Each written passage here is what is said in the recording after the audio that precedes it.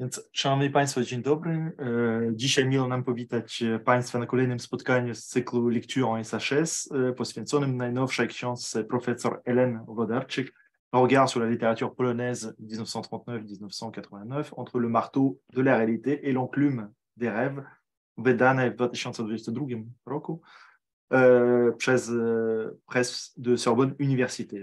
Tytuł ten oczywiście w języku francuskim mógłby zostać przetłumaczony, pozwolę sobie język polski jako spojrzenie na polską literaturę 1939-1989 między mlotem rzeczywistości a e, kowadłem marzeń, powiedzmy, tak?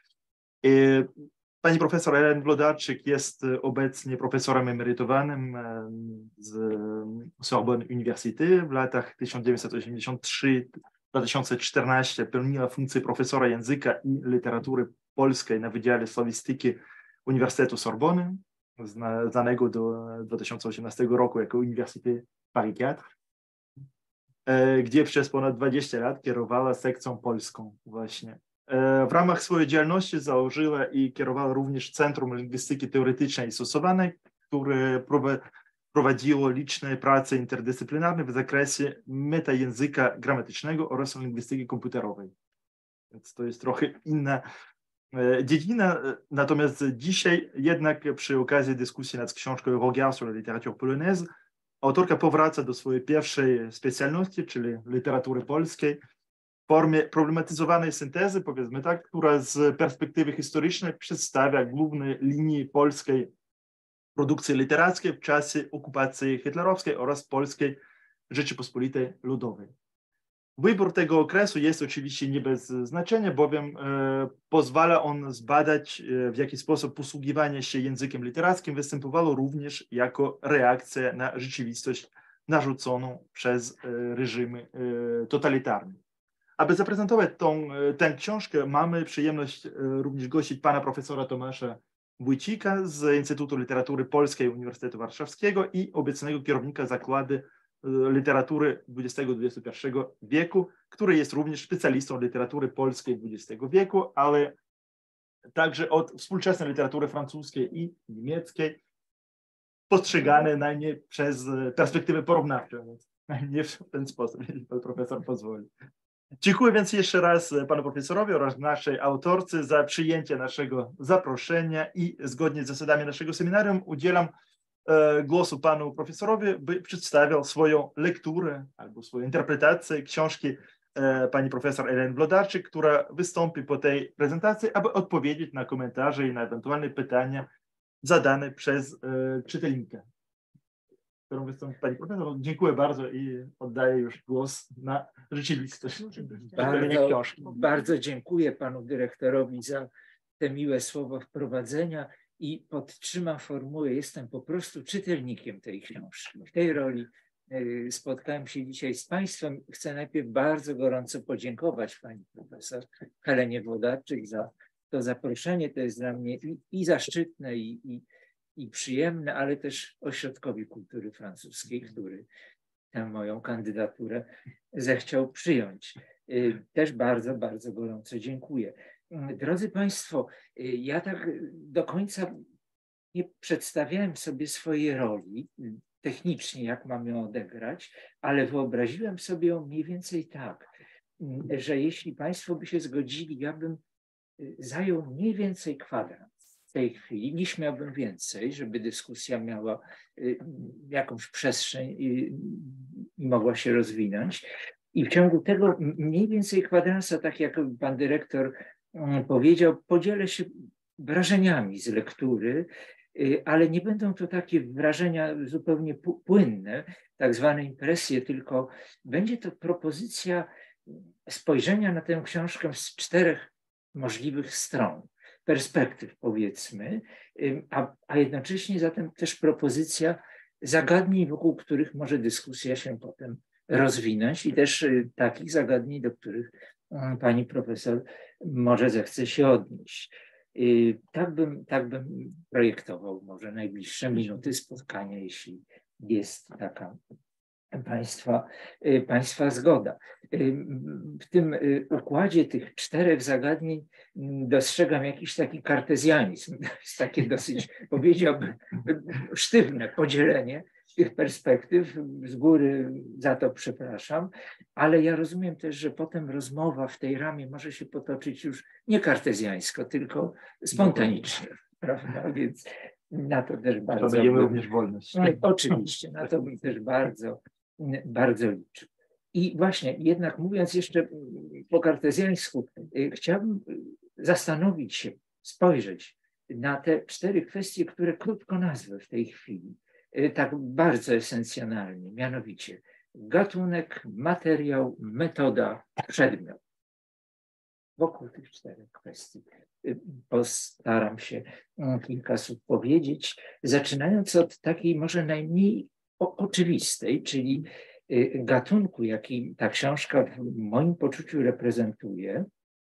I to może być, tak trochę przewiduję dla pani profesor, pewna niespodzianka. Ale nie wiem, czy tak się stanie. Te pozostałe kategorie są bardziej, powiedziałbym, oczywiste. Materiał, metoda, przedmiot. Y, y, takie niejako bardziej przewidywalne. Więc zadałem sobie pytanie, czym właściwie jest ta znakomita książka, od razu tak chciałbym powiedzieć, wartościująca jako, jako gatunek wypowiedzi humanistycznej.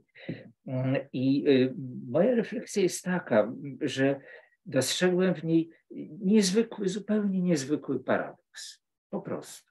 Paradoks. I postaram się to rozwinąć w kilku zdaniach.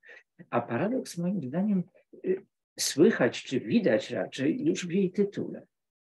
Y, bo tytuł ten składa się właściwie z y, dwóch części, ale ja zwłaszcza myślę o tej części pierwszej, tej takiej y, niemetaforycznej, nie będącej cytatem z poematu Tymoteusza Karpowicza. I zmierzam właściwie do takiego, do takiego pomysłu, że ten tytuł jakby od razu paradoks zapowiada. Otóż słowo spojrzenia jest słowem w zasadzie metaforycznym, ale też powiedziałbym bardzo niezobowiązującym, właściwie eseistycznym mm, w jakiejś mierze, zapowiadającym poetykę luźną, otwartą, eseistyczną tak naprawdę, zapowiadające pewną subiektywność widzenia mm, przedstawionych problemów. Tylko spojrzenie można by rzec, nic więcej. Tymczasem druga część tego tytułu tutaj spoglądam na egzemplarz pani profesor, y, brzmi y, zupełnie inaczej, w innej poetyce jest umieszczona, ponieważ mamy daty wyznaczone ramowo w tym tytule. I teraz, y, jeśli takie daty się pojawiają, to w zasadzie ja mógłbym nawiązać do wypowiedzi pana dyrektora. I to słowo już padło, uprzedziło jakby mój pomysł dość oczywisty, synteza ale pójdę dalej i to może panią profesor zdziwi, może pani profesor uzna, że to jest jakiś taki nadmiar czy zamknięcie mm, tej książki w pewnej, powiedziałbym, dydaktycznej przestrzeni. Otóż mam też poczucie, że to jest nie tylko synteza czy monografia, ale to jest nawet w pewnych elementach podręcznik. Po prostu. Podręcznik dla studentów francuskich, a gdyby książka była przełożona, to jak rozumiem naturalnie także polskich.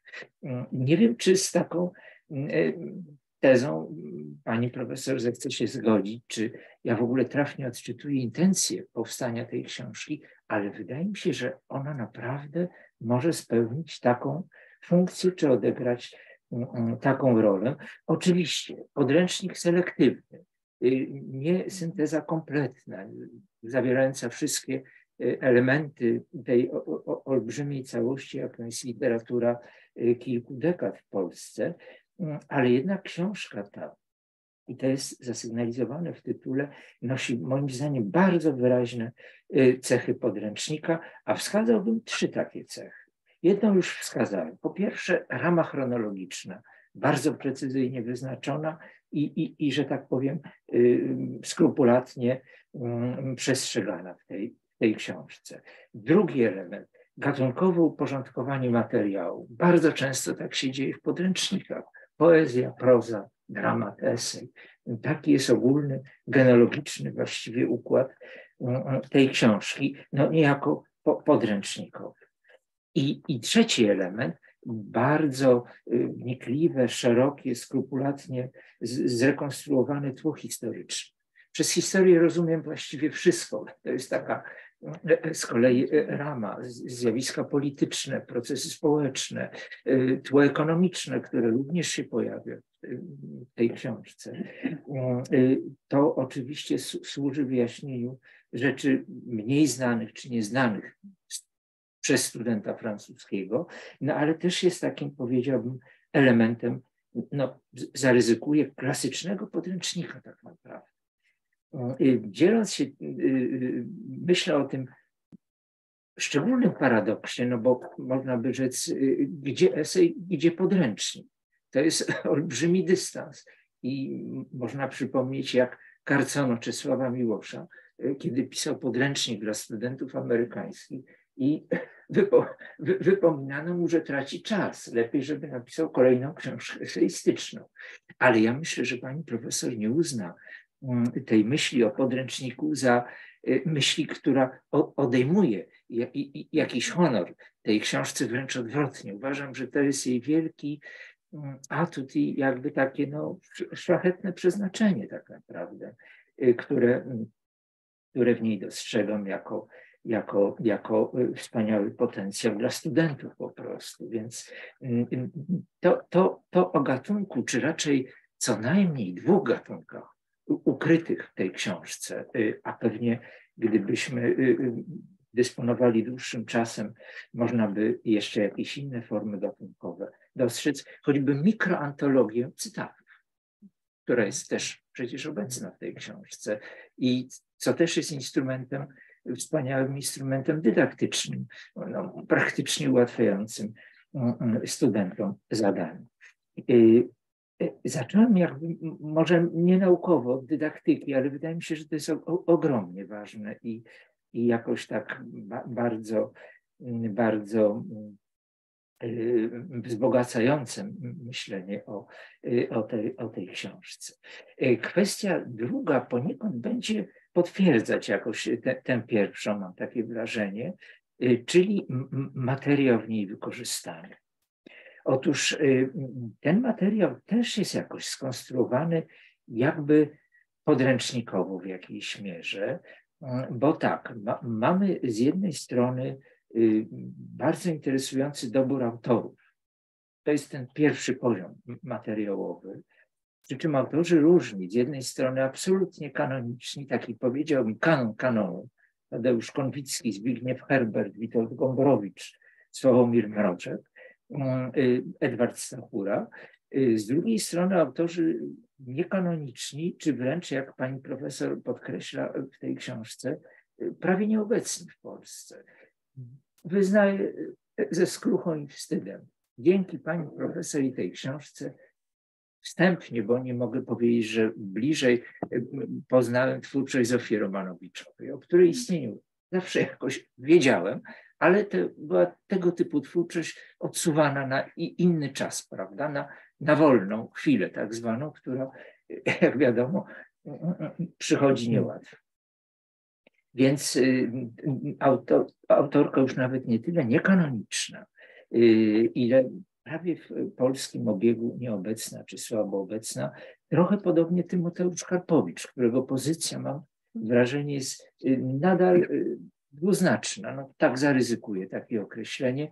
Y, nie jest ono wartościujące w żadnej mierze, raczej sytuujące Tymoteusza Karpowicza gdzieś pomiędzy kanonem i, i zapomnieniem, i, i, i marginesem. Zresztą, jak rozumiem, poprzez ten cytat umieszczony w tytule jest to w jakiejś mierze patron tej książki. I mnie się wydaje, że to jest też wielki walor, że ta książka w takim może nie bardzo szerokim zakresie jest propozycją poszerzenia tego kanonu jednak. Y, co najmniej od tych dwoje autorów, ale też innych, którzy się pojawiają y, y, w tle epizodycznie, efemerycznie, ale też jakoś są ciągle przywoływani. Drugi poziom tego, tego konstruowania materiału o tym już właściwie wspomniałem, to są gatunki literackie. Jest i proza, i poezja, i dramat. Właściwie przekrój przez całą literaturę i, i to znowu odczytuje jako ślad syntezy. I teraz trzeci poziom. Moim zdaniem najważniejszy i kluczowy jakoś w myśleniu o tej książce to jest książka, y, użyję, przywołam tytuł innego podręcznika, wydanego kilkanaście lat temu i moim, w moim poczuciu świetnego, Tadeusza Drewnowskiego Próba scalenia. To jest jakby kolejna propozycja scalenia literatury polskiej drugiej połowie XX wieku, mm, ponieważ jest to propozycja, która właściwie mm, sytuuje się ponad podziałami, jakie jednak ciągle jeszcze gdzieś działały, były, ale w tych ostatnich latach czy dekadach zostały y, y, stopniowo podważane i zwyciężane. Jest kraj i emigracja, jest obieg oficjalny PRL-owski i drugi obieg. Właściwie wszelkie granice geograficzno-polityczne czy polityczno-geograficzne i, y, i, i też te, te powiedziałbym socjologiczno-literackie, chodzi mi o obiegi, y, y, zostają, zostają oddalone, przekreślone, wykluczone i, i powstaje wspaniała panorama literatury która była jedna, mimo tych wszystkich perturbacji. Jeśli za kryterium jedności uznajemy język po prostu, w jakim dana literatura powstaje, może to jest kryterium staroświeckie, poczciwe, ale prawdę mówiąc, ja właściwie też nie znam innego, które by je wyparło tak przekonująco y, i, i, i mogło zastąpić. Y, kwestia trzecia, y, metoda. Y, muszę powiedzieć, że książka urzekła mnie y, takim horyzontem metodologicznym. I, I to nie chodzi o taką banalną konstatację interdyscyplinarności. Mam często poczucie, że to słowo jest dzisiaj naprawdę nadużyte, nadużywane. Y, wszyscy uprawiamy jakieś studia interdyscyplinarne, czasem to już się mm, dewaluuje, ale myślę, że ta książka jest przykładem właśnie tego ty, typu międzydziedzinowych czy międzydyscyplinowych y, studiów najwyższej klasy. Po prostu tak, tak ośmielę y, się powiedzieć, bo z jednej strony jest oczywiście literaturoznawstwo, to jest w ogóle bardzo misterna konstrukcja metodologiczna, mam takie poczucie. Jest literaturoznawstwo, ale jakie? Wszelkie tak naprawdę, i komparatystyczne, i teoretyczne, i historyczne, i po prostu analityczno-interpretacyjne w tej warstwie świetnych odczytań już konkretnych tekstów literackich, mm, które pani profesor y, proponuje. Y, to jest zaledwie jeden nurt, y, dominujący, organizujący całość opowieści, ale do niego dodaje się historiografia, mm, dodaje się filozofia, dodaje się językoznawstwo, o którym wymieniliśmy, przed spotkaniem kilka uwag, w którym czułem się, na, przyznaję, najmniej biegle. Szczególnie nie ukrywam, y, te wątki y, filozoficzne jakoś przyciągnęły moją uwagę, y, też z taką bardzo rozległą panoramą nurtów, i szkoła lwowsko-warszawska, i, i brytyjska filozofia analityczna, i fenomenologia. Natomiast prolog z kolei pozwolił jakoś wejść właśnie w tę perspektywę y, nieco mi dalszą, czy czuję się mniej biegle w niej, właśnie językoznawczą, czy, czy lingwistyczną. I z tego powstała taka, powiedziałbym, niesłychanie misterna, ale też subtelna y, plecionka tych różnych metod y, badawczych integrowanych w taką bardzo spójną i, i, i y, y, y, zwartą całość. Drodzy Państwo, mam poczucie, że może nadużywam czasu, obiecałem ale już zbliżam się do, do finału. Nie, nie, to jest głównym tak, aktorem. Tak, zbliżam się już do finału. Pozostała ta czwarta kwestia, którą chciałbym podjąć. Niestety może najszerzej właśnie, ale ona też chyba jest zasadnicza. Mm, i przy niej bym się nieco może dłużej zatrzymał, czyli mm, przedmiot tej książki. Y, I zwierzę się lekturowo, bo przeczytałem ją dwukrotnie, mm, ale z dość różnymi odczuciami. Ta druga lektura była radykalną korektą pierwszej. To, to w ogóle była inna lektura, po niedługiej zresztą przerwie. Otóż przyznaję się szczerze, że pierwsza lektura dała mi poczucie pewnego, może ośmielę się zauważyć, nadmiaru kategorii historyczno-politycznych, po prostu spojrzenia jakby z takiej perspektywy historii i polityki, co, jak rozumiem, naturalnie nawet w korespondencji z panią profesor niedokładnie o tym pisaliśmy, ale w kontekście ta myśl gdzieś się chyba pojawiała. Wynikało, jak rozumiem, z tej innej perspektywy francuskiej, y, zachodnioeuropejskiej spojrzenia na literaturę polską, ale też pewnie z tego podręcznikowego czy dydaktycznego przesłania czy przekazu mm, książki, która y, oczekiwała jakby też na całe to y, złożone tło i, i, i kontekst polityczny. Mm, ale przyznaję szczerze, miałem taki moment właśnie odczuwania, że mm, to jest taka perspektywa y, może nazbyt y, zastępująca, powiem tak, y, i inne możliwe spojrzenie na literaturę tej drugiej połowy XX wieku. Natomiast druga lektura radykalnie to zweryfikowała i to poczucie gdzieś jakby zniknęło, rozmyło się, zneutralizowało się bardzo wyraźnie. I miałem poczucie, że y, jest oczywiście ta perspektywa niesłychanie silna, może nawet dominująca. Polityka, historia, katastrofy historyczne, dolegliwości czy dokuczliwości mm, naszego stulecia, jak to też nazwał Czesław Miłosz, y, czy też Ryszard Przybylski, bardziej dosadnie ohydnego stulecia. Mm, więc y, to, to, to, to już była jakby taka le, lektura korygująca to pierwsze wrażenie. I, teraz y, jakby mm, pojawia się kwestia bardzo złożona moim zdaniem. Ośmielę się ją podjąć, ale nie wiem, czy ośmieliłbym się nawet sugerować rozwijanie dyskusji nad nią, bo ona jest niesłychanie złożona, poza tym daleko wykracza poza literaturę. Otóż mm, to, co mnie bardzo zaciekawiło, Y, wracam do tytułu książki, to są właśnie daty umieszczone w tytule i mniej rok 1989, bo on jest jakoś naturalnie zrozumiały. Trudno go kwestionować. Wiadomo, że dziś o cezurach w historii literatury myślimy inaczej, bardziej relatywnie, subtelnie, elastycznie, ale ciągle nimi operujemy, a zwłaszcza w książkach typu syntezy czy monografii. Natomiast nieco bardziej mm, zastanowił mnie rok 1939 i mm, wybranie tej właśnie daty jako cezury otwierającej opowieść pani profesor. Bo ja myślę, że z tego wynikają bardzo istotne konsekwencje i, i wyniknęły jakby w tej książce bardzo konse właśnie konsekwentnie. Mm, a też był to moment, kiedy porównałem ją, tak jak to już uczyniłem y, y, chwilę temu, y, z innymi syntezami tej literatury drugiej połowy XX wieku.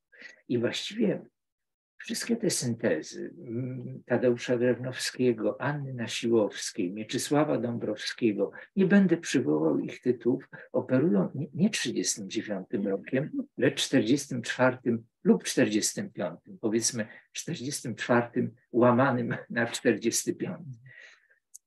I oczywiście z tego wynika y, pewna konsekwencja, taka powiedziałbym, znacznie y, czy daleko wykraczająca poza literaturę. Mm, to znaczy, jak my właściwie rozumiemy y, historię Polski tak naprawdę, bo nie literaturę i, i, i losy polityczne tego kraju y, właśnie w ciągu tych kilku ostatnich dekad XX wieku. Tamte syntezy, czy ich autorzy rozumowali jakby tak.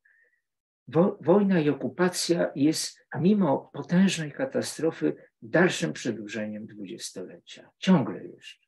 to dwudziestolecie w jakichś formach trwa, załamanych, zrujnowanych, ale jednak obecnych, a one też jakoś wkraczają pewnie w PRL. Wybór 1939 roku, te, ten porządek, czy to myślenie jednak odwraca, prawda? Czy jakoś mu przeczy, czy jest po prostu inny, najzwyczajniej mówiąc. I wskazuje, że właściwie ten ciąg potwornych katastrof, które dotknęły mm, mm, Polskę, y, jakby no właśnie wtedy się zaczął. W tym momencie, przy tej cezurze, przy tej dacie y, i y, po, po, pozwolił, że tak powiem, użyć kategorii totalitaryzmu do całości tego przedziału historycznego między 1939 i 1989 rokiem. Przy czym od razu chcę, chcę zastrzec, że oczywiście mm, pani profesor y, nie dokonuje mechanicznego zrównania lat wojny i okupacji z okresem PRL. To, to, to nie jest jednopoziomowe czy równorzędne, absolutnie nie. Niemniej, no jakby ta optyka, mm, czy kategoria, czy pojęcie totalitaryzmu jest jakoś nadrzędne i, i, i łączy, spaja całość mm, opowieści o tych, o tych dwóch fragmentach nierównych y, chronologicznie. I właśnie to jest moment, kiedy się otwiera dyskusja trwająca właściwie od 1989 roku w Polsce i dlatego, ponieważ ona ma już taką tradycję oraz jest tak zawiła i zawikłana, to ja z pewnym niepokojem nie chcę jej otwierać nawet, prawda? A jeśli się spontanicznie zawiąże, no to, to, to, to nie na moją odpowiedzialność. Jak rozumieć PRL? Po prostu. Co, co to był za fenomen, za zjawisko, za czas? Y, y, y, czy optyka totalitarna jakby go tłumaczy w całej pełni? Co to był za totalitaryzm? Może trzy czwarte totalitaryzm, może półtotalitaryzm. To angażuje oczywiście różne opcje ideologiczne. Jestem najdalszy w tej chwili od ich angażowania, tym bardziej jakichś moich prywatnych upodobań czy, czy, czy opcji. Ale myślę, że propozycja pani profesor w tym sensie jest niezwykle interesująca, bo, bo stawia pewien, pewien zasadniczy problem dla rozumienia no, tak naprawdę 40 lat polskiej historii i. i polskiej kultury y, y, w taki właśnie sposób. Y, I właściwie już zmierzając do finału tej kwestii przedmiotu, to można by rzec, że cała ta książka moim zdaniem jest niesłychanie kompleksową i wnikliwą odpowiedzią, jak kultura polska radziła sobie z użyjmy terminu pani profesor, mm, systemem totalitarnym. Y, I właściwie mamy całe spektrum tych, tych radzeń sobie, tych sposobów radzenia sobie.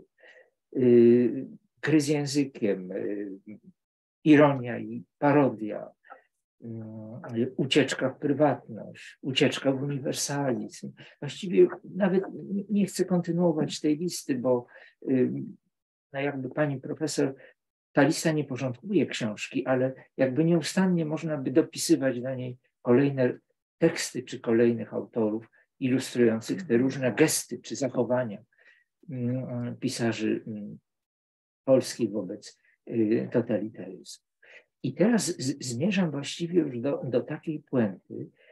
Mam takie poczucie, że książka w niezmiernie ciekawy sposób y, łączy w efekcie dwie perspektywy. Mianowicie lokalną i uniwersalną.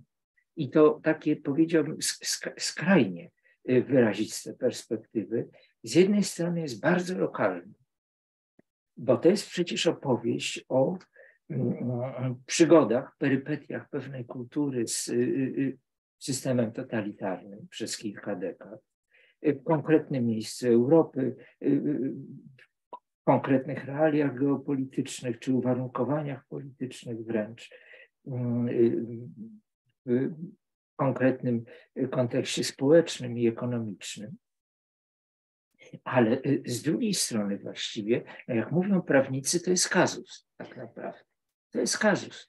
I, I właściwie powiem szczerze, poczułam jakąś dumę, jakiś rodzaj dumy patriotycznej, że oto to taka przewrotna duma, kultura polska, co zresztą pani profesor zaznacza, okazuje się w tej książce pewnym uniwersalnym modelem. Modelowa jest.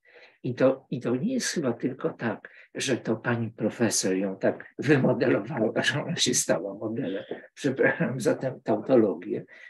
Tylko rzeczywiście książka ta pokazuje, że kultura polska może być traktowana jako wzorcowa dla pewnej sytuacji kultur, już nie wiem jakiej Europy, wschodniej, środkowo-wschodniej, środkowej. Najbliższe jest mi jednak myślenie o, o, o tej kulturze w kategoriach środkowej Europy. Wolę tak, prawda? Niż jakoś y, y, wschodniej czy wschodnio-środkowej. I że te wszystkie prawidłowości, tak, tak świetnie w tej książce rozpoznane, na przykładzie, operując tym modelem czy wzorcem polskiej kultury, mo, można jakby odnieść do, do, do zjawisk dotyczących krajów tak zwanego dawnego bloku, czy w ogóle Europy, Europy, Europy Środkowej. I teraz zatoczywszy koło wracam do tego dydaktycznego przeznaczenia książki, ale dydaktycznego na nieco innym poziomie, bo już myślę nie o studentach, tylko w tym momencie mam takie głębokie poczucie, że ta książka w, w obu warstwach, tutaj bardzo lokalnej i tej bardzo uniwersalnej, jak widać, to w ogóle jest żywy dowód, że głęboka lokalność może się stać znamienitą uniwersalnością. Może dzięki temu zainteresować specjalistów z bardzo różnych dziedzin, nie tylko literaturoznawców, językoznawców, historyków, politologów, socjologów, którzy znajdą dla siebie różne wątki, ale właśnie w takim modelowym jakby uformowaniu i, i opisaniu.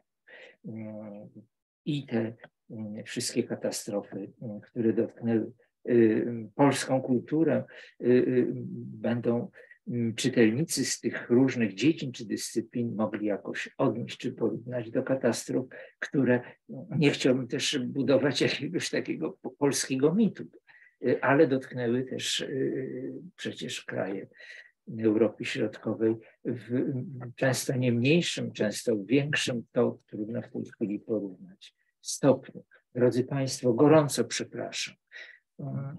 Miał być kwadrans. Panie profesorze, to, to, to, to ja myślę, że my wszyscy dziękujemy za, za tak bogatą lekturę.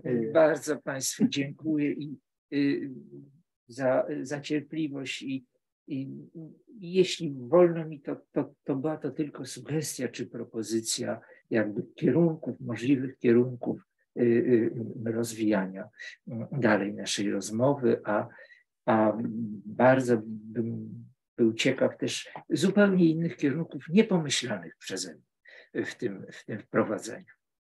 Bardzo, bardzo dziękuję. dziękuję. Jeszcze raz to za inspirujące lektury, które myślę, że jak Pan planuje, jakby e, zainspiruje nas na, na, na drogę różnych tematów dla, dla dyskusji i, no i na razie oddaję głos pani profesor, żeby odnieść się do, do uwag i do, do, do zagadnień, które już zostały omówione panem profesorem. Dziękuję bardzo. Najpierw dziękuję też dyrektorowi, e, panu Lochon Tatarenko za zaproszenie tutaj do seminarium.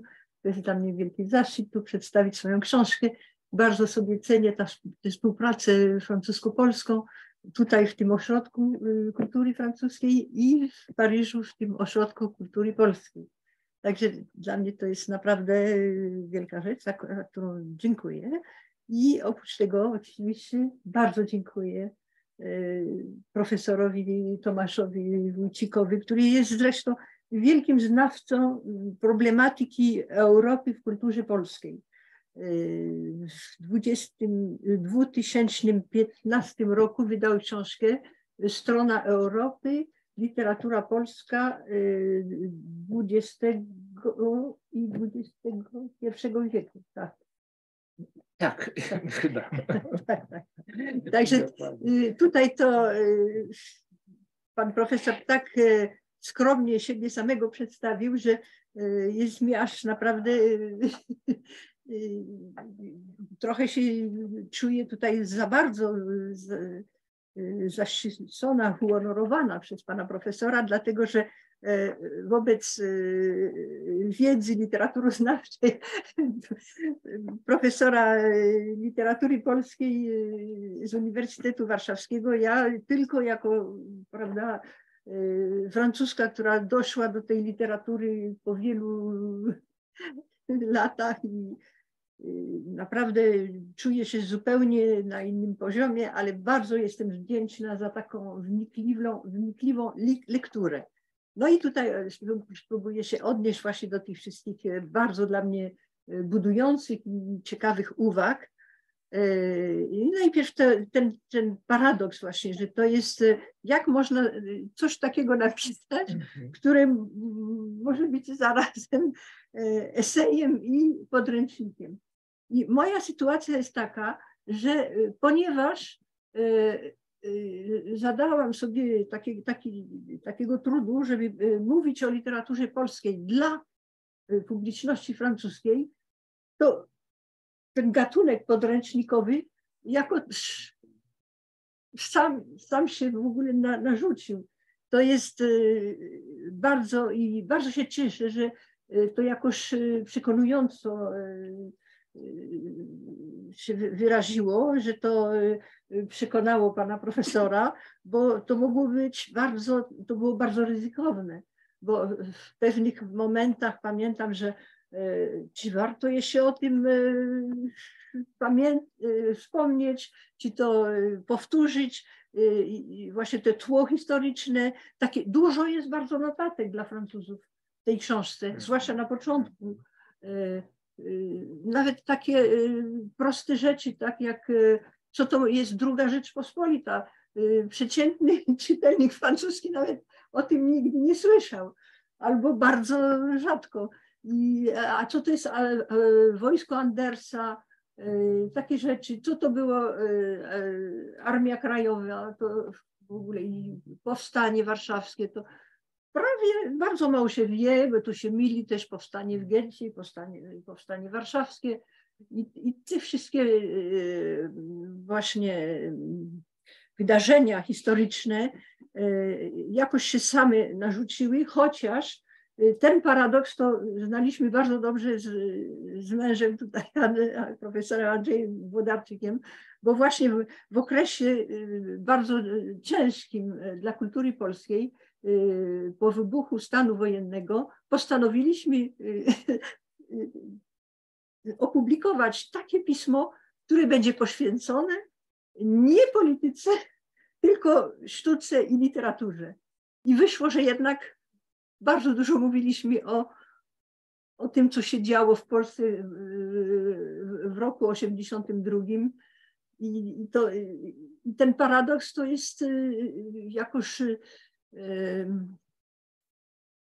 to należy do, do tego okresu tej polskiej kultury, ale mnie interesuje y, właśnie to, jak kultura polska potrafiła się podnieść, y, podnieść się ponad y, właśnie ponad to tło historyczne, ponad wezwanie takie społeczne, polityczne. I w ten sposób zadać E, pytania, które to są pytania e, uniwersalne dla e, kultury ludzkiej. Problem na przykład, to jest, dla mnie to jest w ogóle centralny problem, jak w takim okresie, kiedy kraj jest poddany taki, takim katastrofom, jak znaleźć środka, żeby wyrazić to, co człowiek doświadcza w takich y, warunkach. I tutaj może Pani pokaże następny obraz Beksińskiego. Y, trochę dalej jest tam niesie obraz Beksińskiego, trochę dalej. Jeszcze dalej, tak? O, tutaj, tak, to jest to. I więc co chcę przez to powiedzieć, że tutaj należy znaleźć artystyczne środka, żeby mówić o niewypowiedzianym. Na przykład poeta Tadeusz Różewicz, który otwiera cały ten okres swoimi wierszami pod tytułem Niepokój, on pisze, że on pisze nienazwane nazywam milczeniem. Doszło do takiego ogromu tej katastrofy, że język sam prawie się złamał nad, nad tym problemem. I to jest bardzo ważne. Zresztą niedawno, bo jeszcze w tym miesiącu, w numerze francuskiego, francuskiego pisma Europe, to jest takie pismo literaturoznawcze i też kulturoznawcze, które już obchodzi 101 rok swojego życia. To jest i w tym numerze profesor Alice Catherine Kals właśnie z Ameryki to mówi właśnie, że odwołując się do imperatywu przetrwania, literatura polska wybrała etyczne zobowiązanie faktu ludzkiej solidarności. Oczywiście ona to napisała po francusku, bo to jest pismo francuskie wydane w Paryżu, ale to jest właśnie ten, ten problem, i myślę, że z punktu widzenia właśnie czytelnika francuskiego i z punktu widzenia nauczyciela kultury polskiej we Francji, właśnie znalazłam się przed tym problemem, jak przybliżyć Francuzom te problemy, z którymi się zmagali Polacy i jak pokazać rozwiązania artystyczno-literackie. I tutaj powiem coś takiego. Pan profesor powiedział, że nie wiadomo, jak zrozumieć PRL. I mnie nie, nie, nie chodzi o jak zrozumieć może nie PRL, ale albo kultur, kulturę PRL, albo literaturę PRL. I tutaj ja chcę zrobić takie porównanie.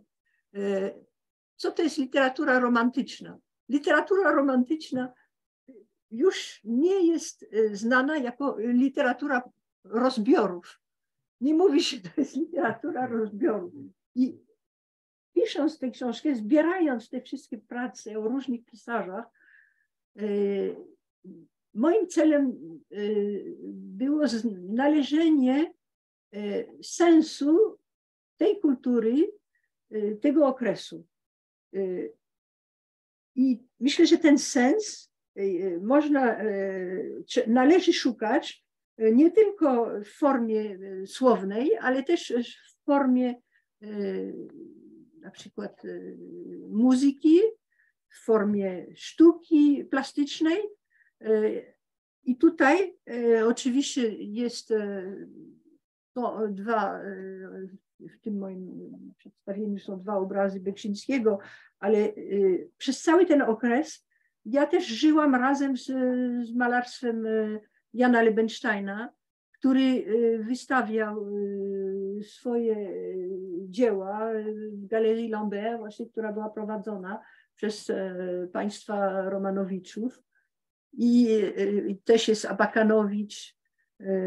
I właśnie nie, na, na, moim zadaniem było zrozumieć, co wszyscy ci artyści wyrażają tymi nowymi formami, które są nieznane w sztuce poprzedniej, poprzedniego okresu. I dlatego tutaj zdaje mi się, że ten przełom 1939 roku jest ważny, ważny i na przykład bardzo mało, bo nie, nie miałam czasu mówić o Baczyńskim, o Krzysztofie Baczyńskim, ale to już i, i wszyscy młodzi poe, poeci Powstania Warszawskiego i, i wiersze, dramaty, które pisali, to już jest nowa poetyka, całkiem dla mnie nowa poetyka i potem to się wyra- to, to nabierze naprawdę wyraźny kształt u ale to jest właśnie taki okres zupełnie nowy i też chciałam powiedzieć, jako e, francuska wychowana w Paryżu, oczywiście urodziłam się po wojnie, no, moi rodzice jednak żyli podczas wojny, to także naprawdę się, jeszcze się słyszało w moim dzieciństwie o wojnie, ale wtedy, kiedy się zapoznałam się z polskim doświadczeniem wojny, to byłam naprawdę, nie wiem jak to nazwać, e, zdruzgota, znaczy ja nie wiem, e, to było coś, co e, nie miało nic wspólnego z doświadczeniem Francuzów. Nawet wiersze, są, są słynne wiersze Eluarda, Aragon o ruchu oporu we Francji, o, o, tym na przykład, e, o tych dwóch e, żołnierzach ruchu oporu, Francuzach, którzy e, przeżywają razem w jednej celi ostatnią noc przed egzekucją. Ale to wszystko, to jeszcze nic nie było, dopóki nie odkryłam polską sytuację.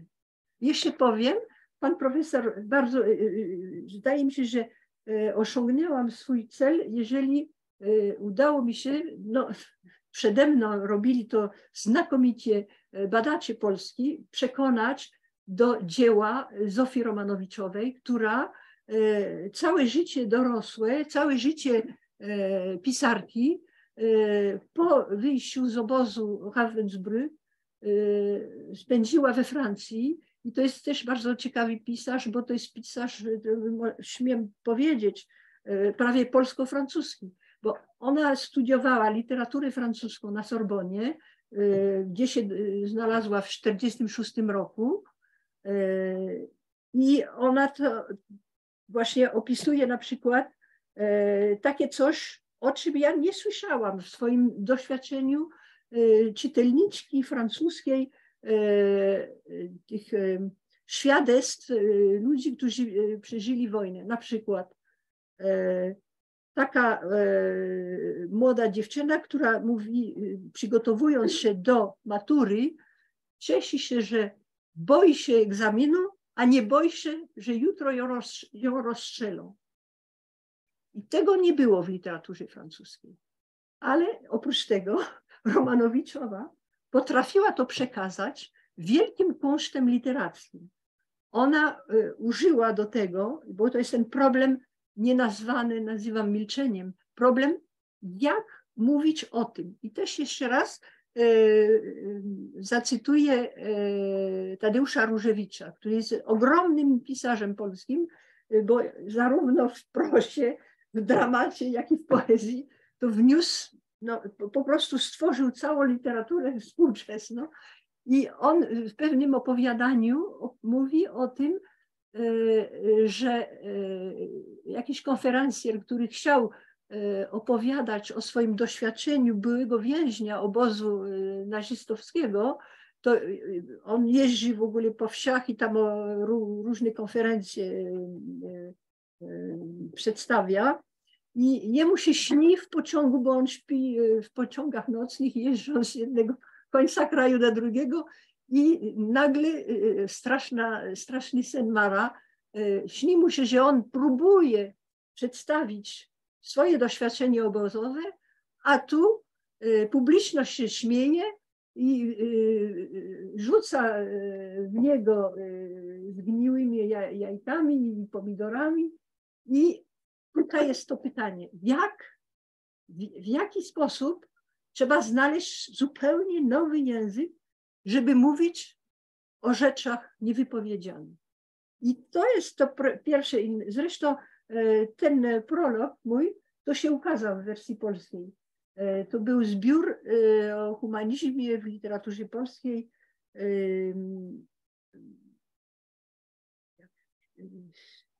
i właśnie kryzys języka w literaturze polskiej to było właśnie wydane w Polsce już może jakieś 10 lat temu.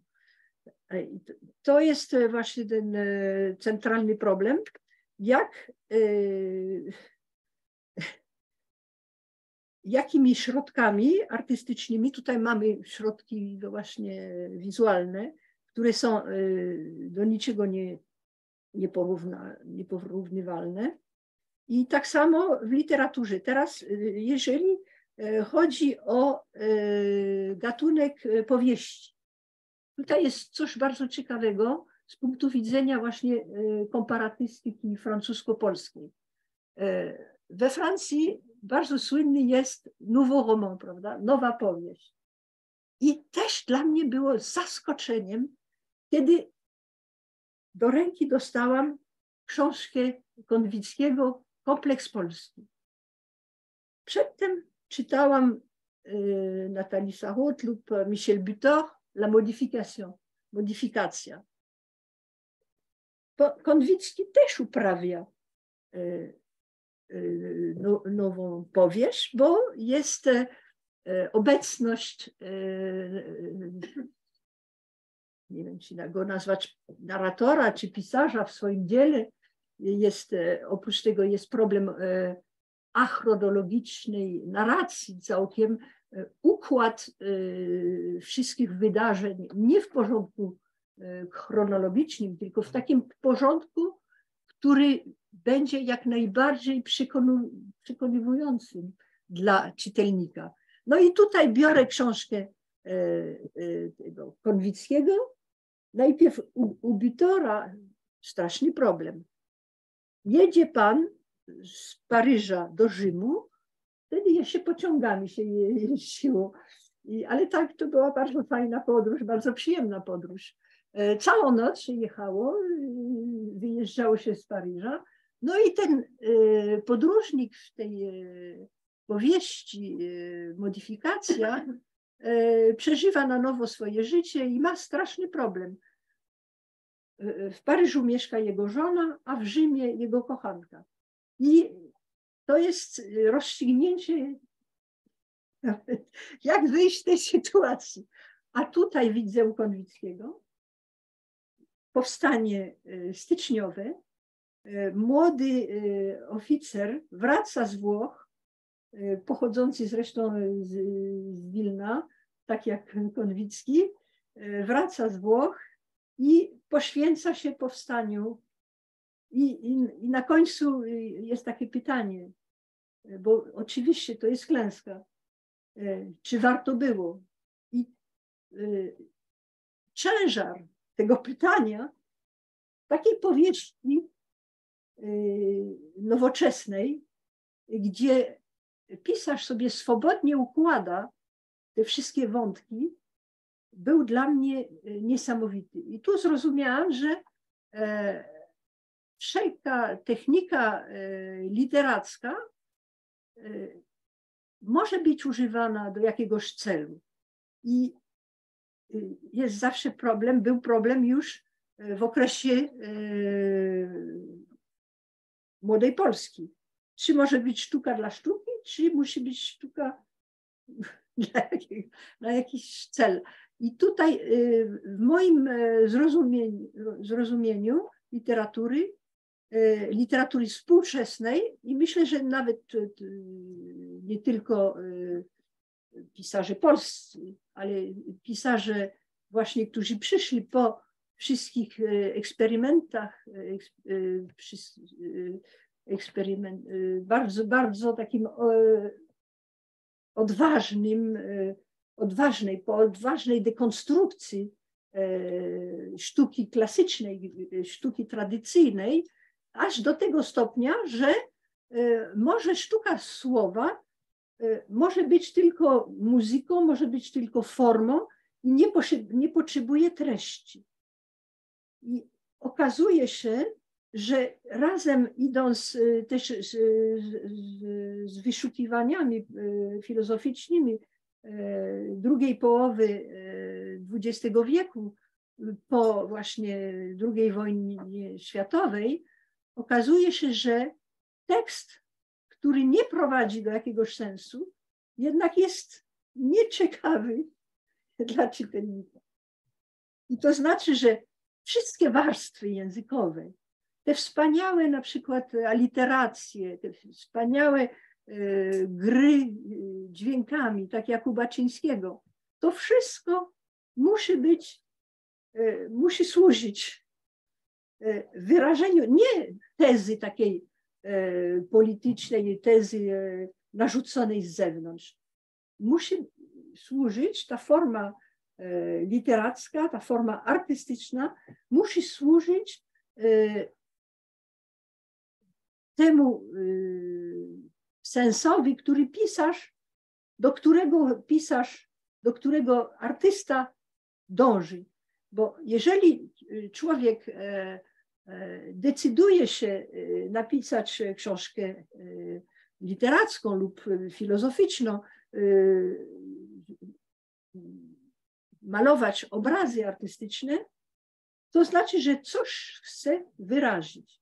I właśnie ten problem wyrażenia tutaj E, w obecności takiej skrajnej, takiego skrajnego doświadczenia e, zmusiło do wysiłku, e, do, do wielkiego wysiłku artystycznego.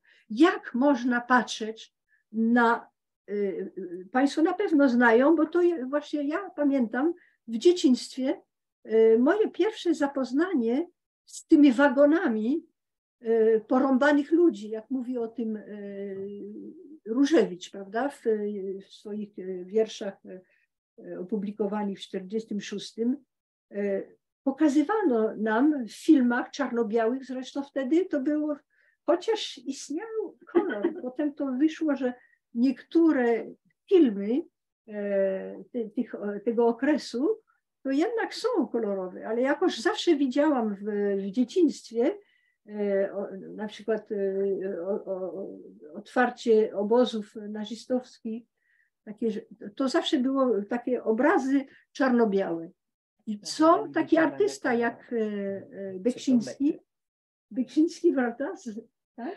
przepraszam, podzieliłam się, bo taśma kolorowa była limitowana co do metra, a do biało-czarnych no, był dostęp, więc to nie tylko. Tak, tak, tak, nie zawsze się kryje coś bardzo głębokiego, ale czasami, tak, ale czasami rzeczywistość po prostu. No dziękuję za tę uwagę, bo ja uważam też, że w literaturze, zanim dojdziemy do jakiejś filozofii, musimy patrzeć na słowa, na dźwięki, na składnie. I to jest dla mnie też bardzo ważne, bo bez tego, bez tej, tego ciała tej literatury, to nic nie ma. To jest bardzo ważne, tak. Y, co chciałam jeszcze powiedzieć? Y,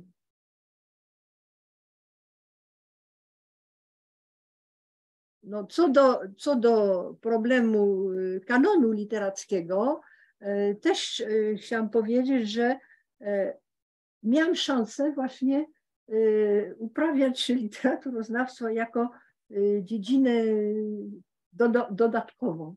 I wtedy właśnie miałam takie podejście, że wybieram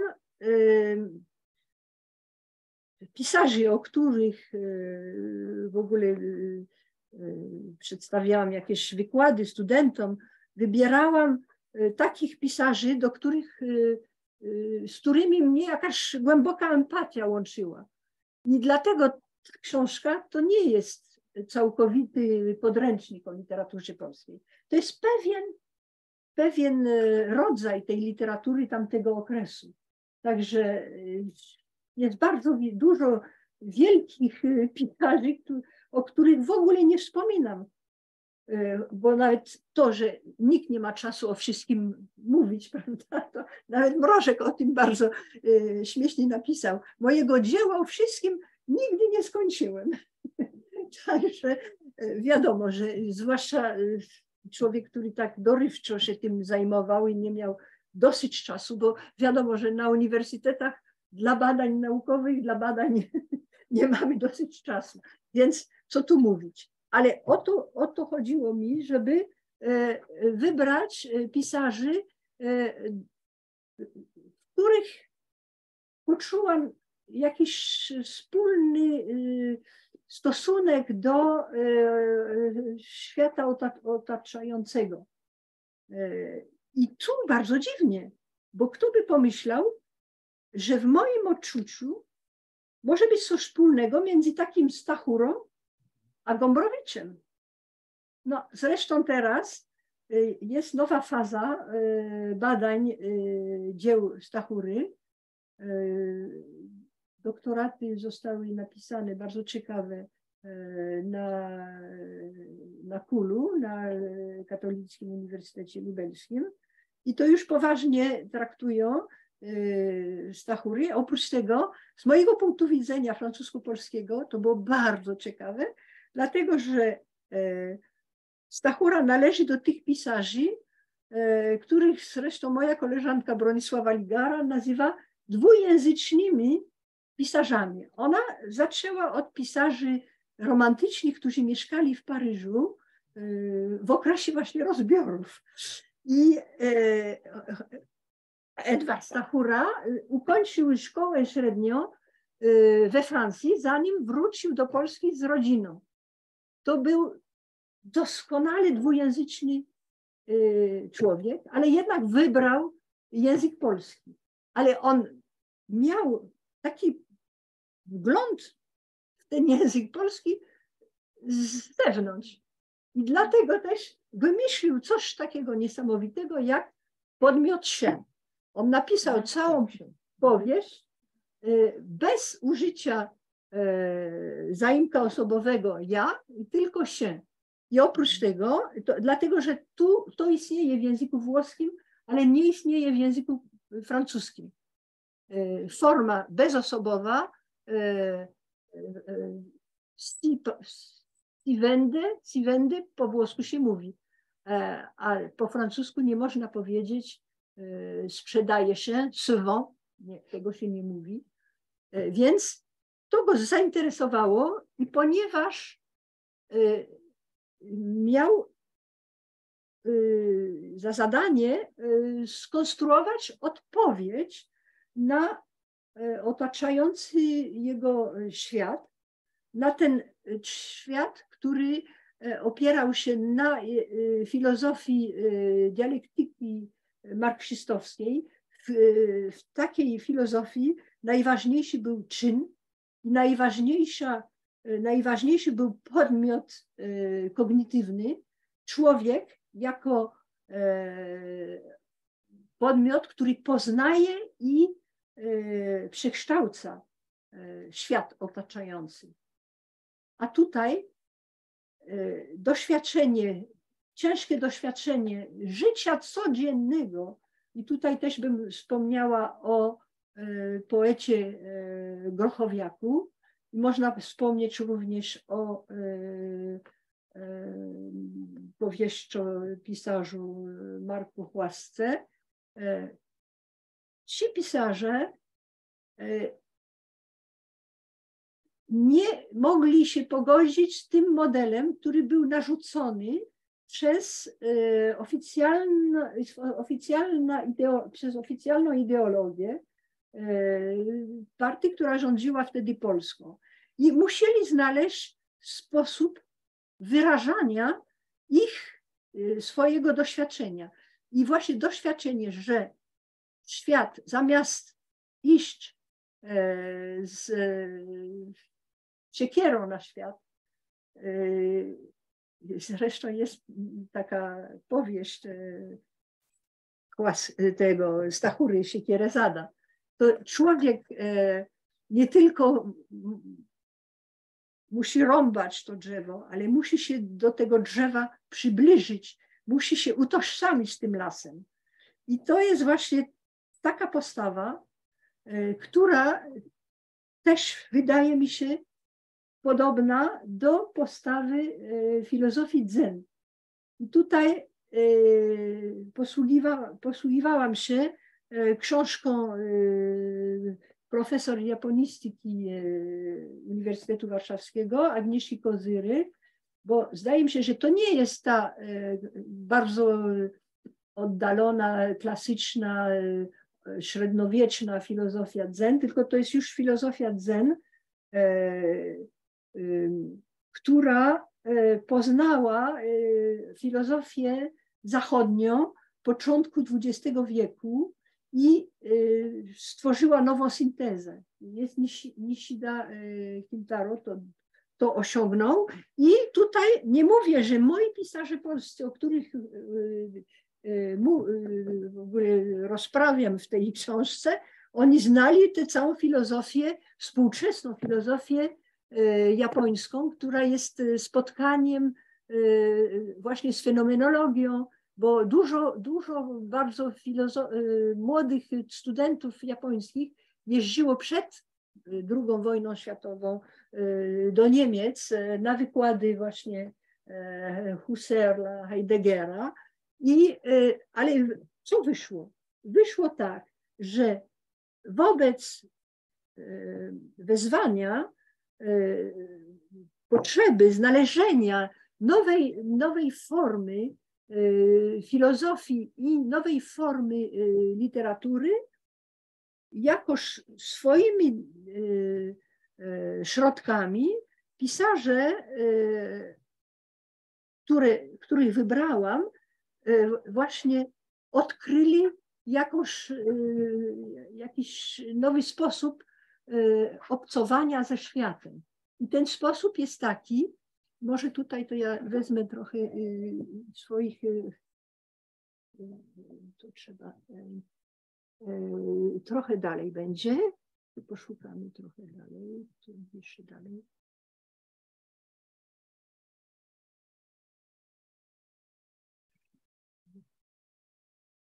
O, i to, tak, tak, tak. Od filozofii czynu do empatii. I tutaj na przykład jest tutaj pisarze wkraczają na takie tropy, które były równoległe tropy nauki w wieku. Na, nastał koniec determinizmu i naukowcy nauczyli się posługiwać się probabilistycznymi rachunkami i jakoś ustosunkować się do przypadku.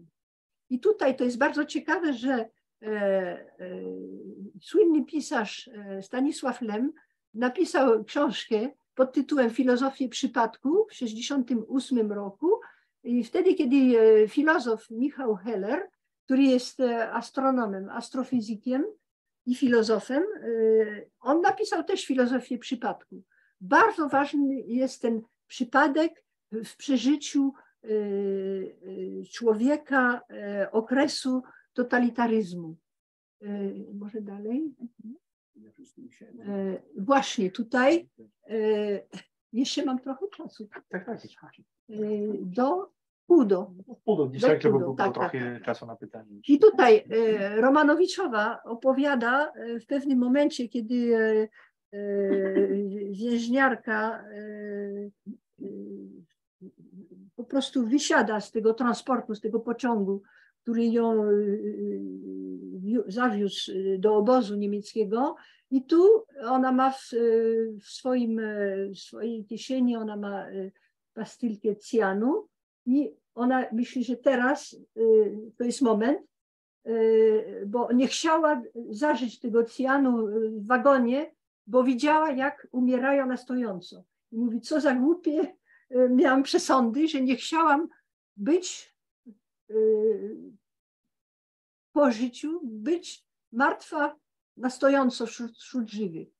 I wysiada z tego pociągu, a tu widzi dziewczynę ze swojego miasta i tak się cieszy, że już nie, nie chce, y, chce dalej żyć. I, i, I ona pisze tak.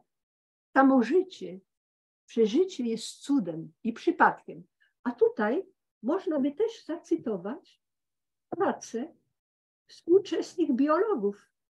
E, mieliśmy takiego francuskiego biologa, teraz jego nazwisko mi, e, Le hasard et la nécessité. E, kto to napisał? A, mogę znaleźć tego. Bardzo słynna książka francuskiego biologa lat, lat 70. I bo poznali, że właśnie w tym nawet w tej teorii ewolucji Yy, przypadek... Przepraszam, Jacques Monod. Yy, tak, tak, chyba tak, Jacques Monod, tak, tak. tak. I więc yy, to jest to i tutaj ten przypadek i ta wolna wola, to może dalej przypadek zobaczymy u, u Szymborskiej. No właśnie, przypadek bardzo dużo gra rolę w poezji szymborskiej. I to też jest y, odpowiedź na to, że y, y, człowiek nie może być, y, niestety, y, próbowano nałożyć na y, Polaków po wojnie taką filozofię, że trzeba się dalej bić, trzeba zbudować nowy kraj, trzeba odbudować, no zresztą odbudowali jednak, ale to wszystko było jednak człowiek jest bezradny wobec przypadku. I oprócz tego jest właśnie ten cytat Karpowicza, który jest na początku tej książki. I to jest może tutaj ważne, że jest słowo los, los człowieka. Bądź przygotowany na zwykły los człowieka, który w dodatku musi być Polakiem pomiędzy młotem rzeczywistości a kowadłem marzeń.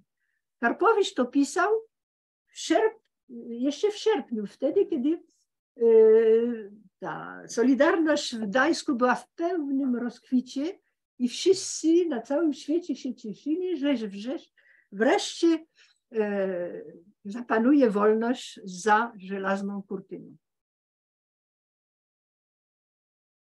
Może dalej jeszcze? No ironia to już było, nie, to tam e, gdzieś dalej. Dalej, dalej, dalej. O, i jeszcze, jeszcze, tego nie będę mówić. Tak, poezja negacji. Ja i świat właśnie. E, tutaj, bo mówiłam o, o chcę zostać właśnie w jakimś e, przy niektórych problemach, bo nie, nie zdążymy wszystkiego omawiać.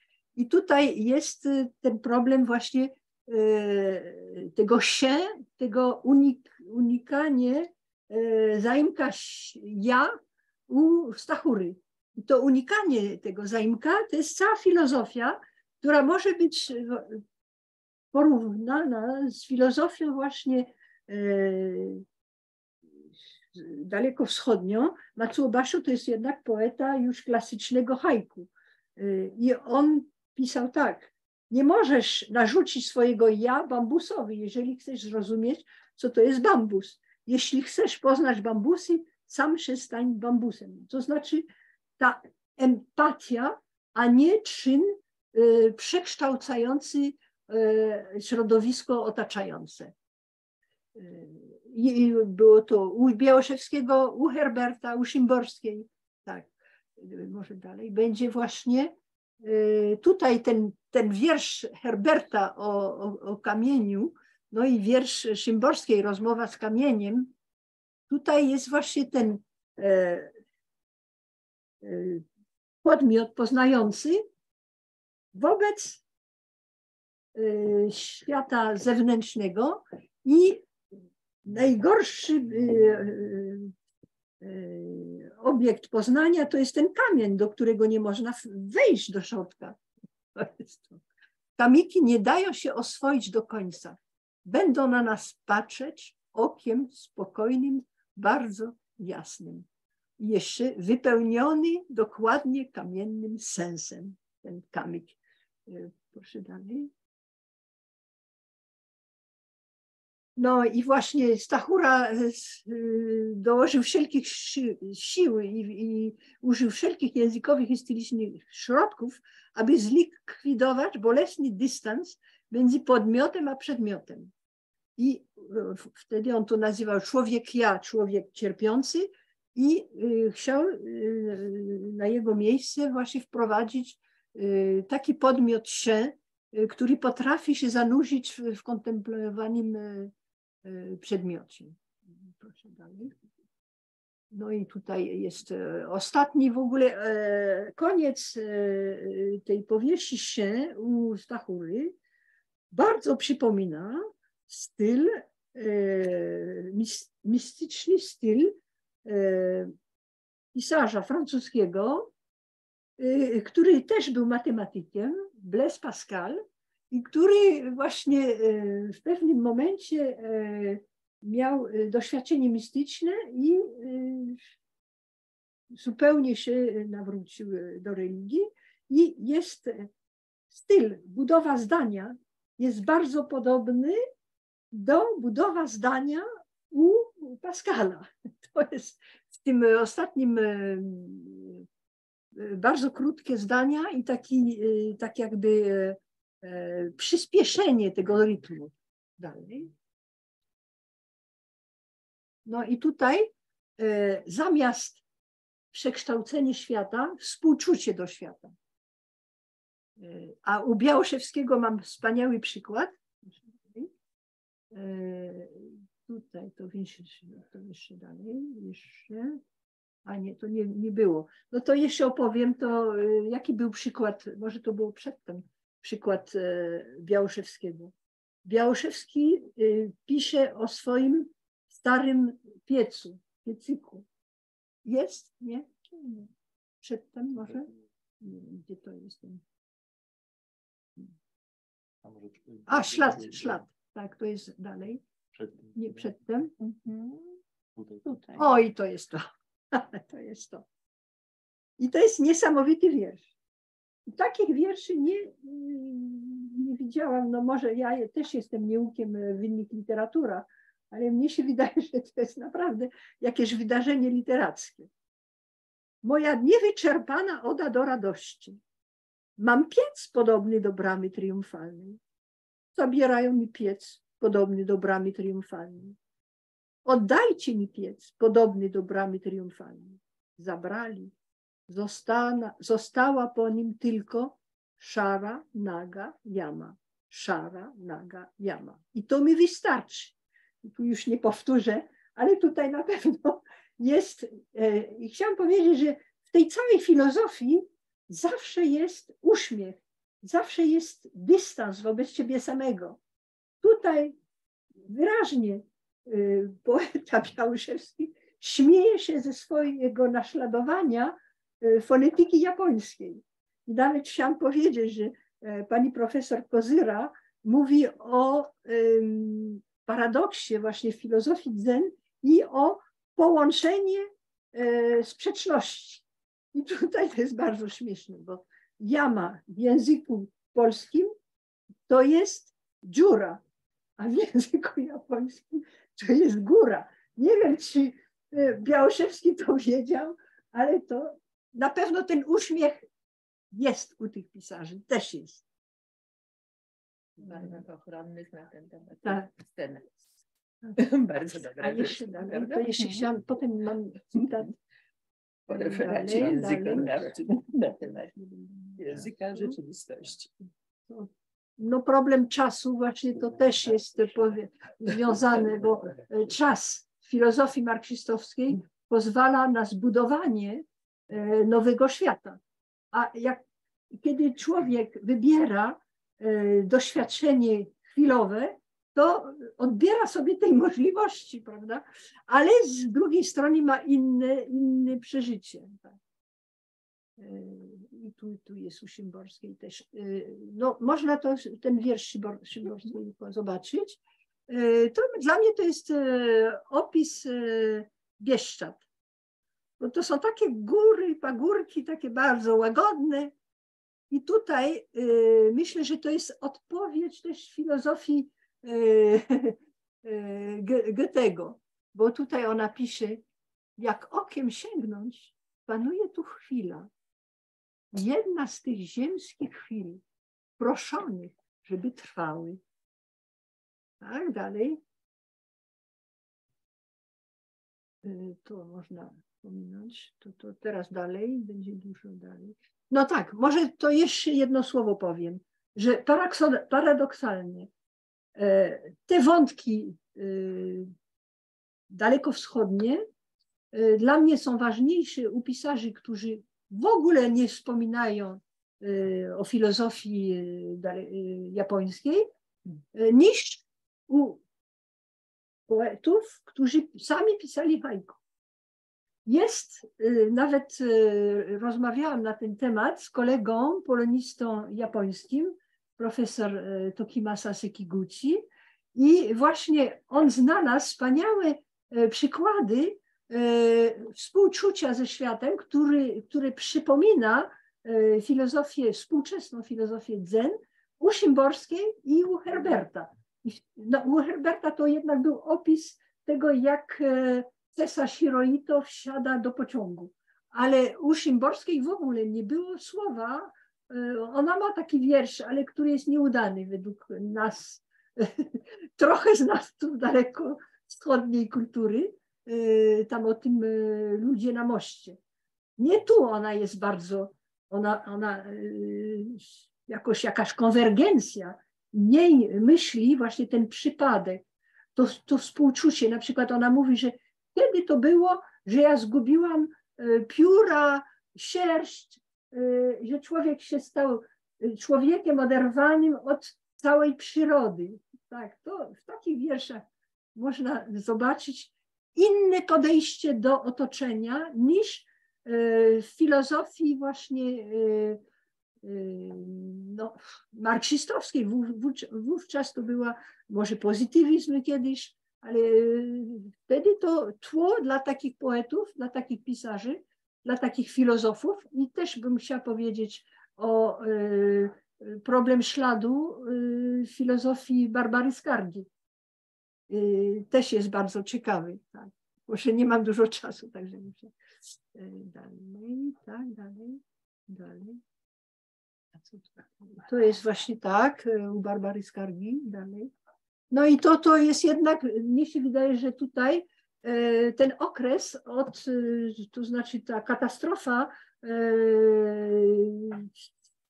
kultury zachodniej, te obozy, prawda, zagłady podczas II wojny światowej, potem te, ta zagłada masowa w Związku Sowieckim, która trwała y, wiele lat. Zresztą y, w literaturze polskiej też są wspaniałe, wspaniałe świadectwa, bo naród polski tak samo był wywożony do obozów y, sowieckich, jak i naród rosyjski.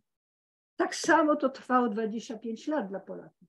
Od, jeszcze przed wojną, bo te te części e, Polaków, te, te, byli Polacy, którzy e, linia Curzon, Curzon, Curzon, linia Curzon zostawiła poza Polską i oni byli pierwszymi, no, pierwsi doświadczyli właśnie deportację na, na, do, na Syberię i tak dalej. No, nie, mówić, nie mówiąc już o Ukraińcach. Zresztą skarga opisuje, że jak się znalazła y, w Syberii, to najlepsi jej y, przyjaciele byli właśnie Ukraińcy, Ukraińcy, którzy też tam żyli y, daleko od tego. Więc ta filozofia e, Heraklita, która jest e, e, opozycją do filozofii e, Parmenidesa, to jest właśnie e, nurt, który istnieje w kulturze zachodniej od samego początku też. Tylko, że e, w takim okresie to ten drugi nurt, który został bardziej podziemny w kulturze zachodniej, który był na, najważniejszym nurtem w kulturze wschodniej, ale z tego powodu też kultura wschodnia nie doszła do takich e, badań e, naukowych w naukach ścisłych. To też trzeba przyznać, bo jak jest tylko empatia i nie ma tego dystansu wobec podmiotu, to jest trudniej zbudować e, na początku, prawda, fizykę, chociaż teraz to już fizyka dochodzi do tego momentu, kiedy wie, że ten stosunek podmiotu badającego do swojego e, przedmiotu jest też bardzo ważny, ale to już jest wyższa nauka. Więc dalej. No i tutaj mi, mnie się wydaje, że e, też Polska skorzystała ze swojej sytuacji na peryferii Europy. I tu może dalej pójdziemy, to Konwicki właśnie, no, wesołe wyrostki robaczkowe ślepej kiszki Europy. To tutaj Polacy nie tylko się chełpią, ale potrafią z siebie się śmiać. Dalej, e, manowce Europy to jest Ustachury, no tak dalej, bo tego to nie będzie. Człowiek w zakątku kosmicznym to jest e, doświadczenie e, jednak człowieka XX wieku. E, tak, to, to są krańce, to nie są kresy, to są krańce jednak myśli europejskiej. Ten Herakl, Heraklit jest jako krańce. Tak. Dalej.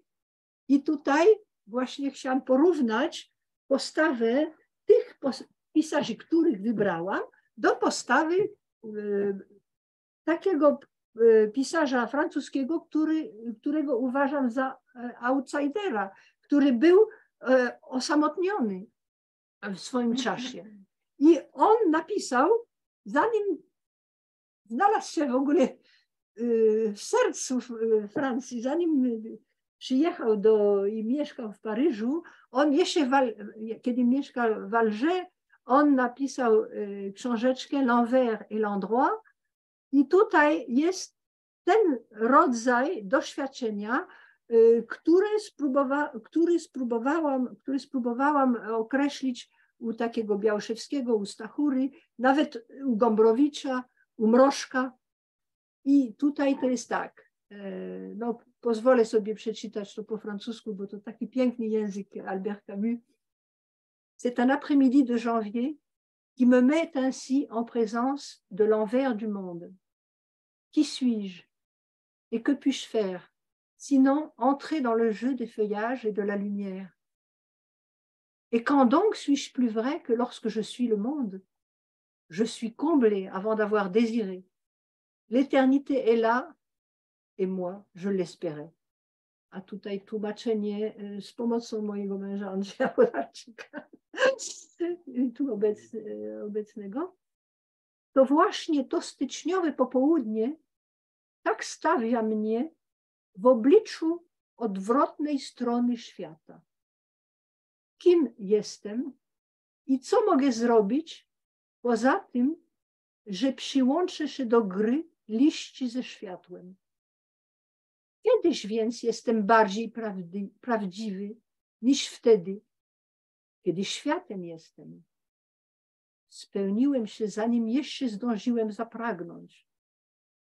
Wieczność jest tu, a ja za nią tęskniłem. I tutaj jeszcze jedno, jeden slajd. I tutaj będzie pisarz, niestety e, święte prawo chronologii tutaj jest nie e, postrzegane, bo jest właśnie, znalazłam taki bardzo ciekawy też cytat, e, to było w Tygodniku Powszechnym, e, Olgi Tokarczuk, ale ja myślę, że jednak młodzi pisarze, no młodzi, to znaczy pisarze nowego, nowej Polski, bo już pani Tokarczuk to już jest e, pisarz, prawda, dojrzały. E, więc to pokolenie e, korzysta z, z doświadczenia tych pisarzy, o których mówiłam. I ona właśnie napisała tak, ona, ona była chyba psychologiem, studiowała psychologię i interesowała się bardzo e, psychologią Junga. I ona tu cytuje, to jest po prostu cytat Junga, pod piórem Tokarczuk, Tokarczuk, Olgi Tokarczuk.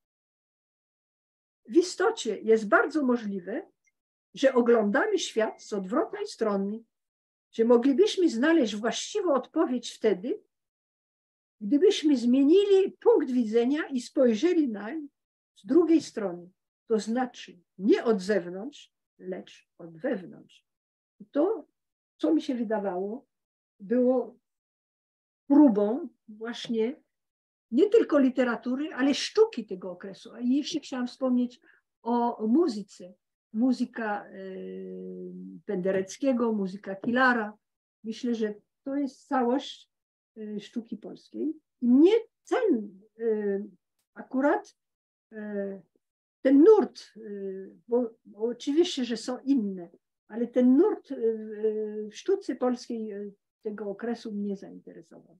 Ale broń Boże, nie e, utrzymuje, że to cała literatura tego okresu do tego się sprowadza. Ale to jest dla mnie jeden z najbardziej wartościowych wkład e, literatury polskiej do literatury światowej. A i zresztą e, pani profesor Kaus, która jest profesorem e, historii współczesnej Euro, Europy w Ameryce, wysłała mi link do, ukazał się, ukazała się książka zbiorowa w Ameryce Polish Literature as World Literature. Także to może w ten sposób można wejść na szerokie wody. Dziękuję bardzo i przepraszam, że trochę przedłużyłam. Nie, nie, no, bardzo dziękuję tak naprawdę również, że bardzo ciekawe mówienie. Właśnie pani profesor przyjmowała się, że mamy co mniej miejsce do literatury, ale przecież pani mówi raczej o życiu codziennym, ja powiedziałbym, to nawet e, możemy to porównywać nawet do historii, bo historii jest taki nurt, czasem Brodela była historia totalna. Można mówić, że pani nam przedstawia literaturę totalną w jakiś sposób. No i, i tu otwieram na, na, na kilku minut, mamy trochę mało czasu, ale tak 10 minut e, pozwolimy sobie wziąć dla pytań, więc proszę kto, kto chce zacząć? Może niby... No, no, no, może, to... ja, może ja tak, tak, zacznę. Dobrze. Proszę bardzo. Najpierw kilka słów usprawiedliwienia. Y, jestem polonistką z wykształcenia. Językoznawstwem i informacją zajmowałam się przez całe życie. Literatura, no tak jak każdy czytelnik, który chce się zorientować w literaturze polskiej współczesnej. Pierwsza uwaga. Druga to jest ta, że jestem z panią profesor Włodarczyk zaprzyjaźniona od wielu lat, więc może nie zawsze będę zachowywała tutaj oficjalnych form, których powinno się y, używać w takiej dyskusji. Y, trzecia uwaga jeszcze, że rzeczowniki polskie rodzaju męskiego uważam za nazwy gatunkowe, a nie deprecjonujące Y, kobiety, więc jeśli będę mówiła o autorach, czy pisarzach, czy twórcach, y, nie wykluczam tutaj oczywiście kobiet. Y, na pierwsze pytanie pani profesor już właściwie odpowiedziała, które chciałam zadać o kryteria doboru autorów, mm. bo oczywiście to się od razu narzuca, no ale tutaj została to wytłumaczone, dla, dlaczego właśnie tacy. Chociaż ja chciałam nawiązać do takiej ankiety, która została niedawno bardzo przeprowadzone wśród y, krytyków literatury, nie pamiętam kto przeprowadzał któryś z instytutów, y, do wybranych osób około stu chyba została ankieta wysłana y, z prośbą o odpowiedź na pytania, którzy mm, autorzy literatury polskiej zostali przecenieni, którzy zostali niedocenieni.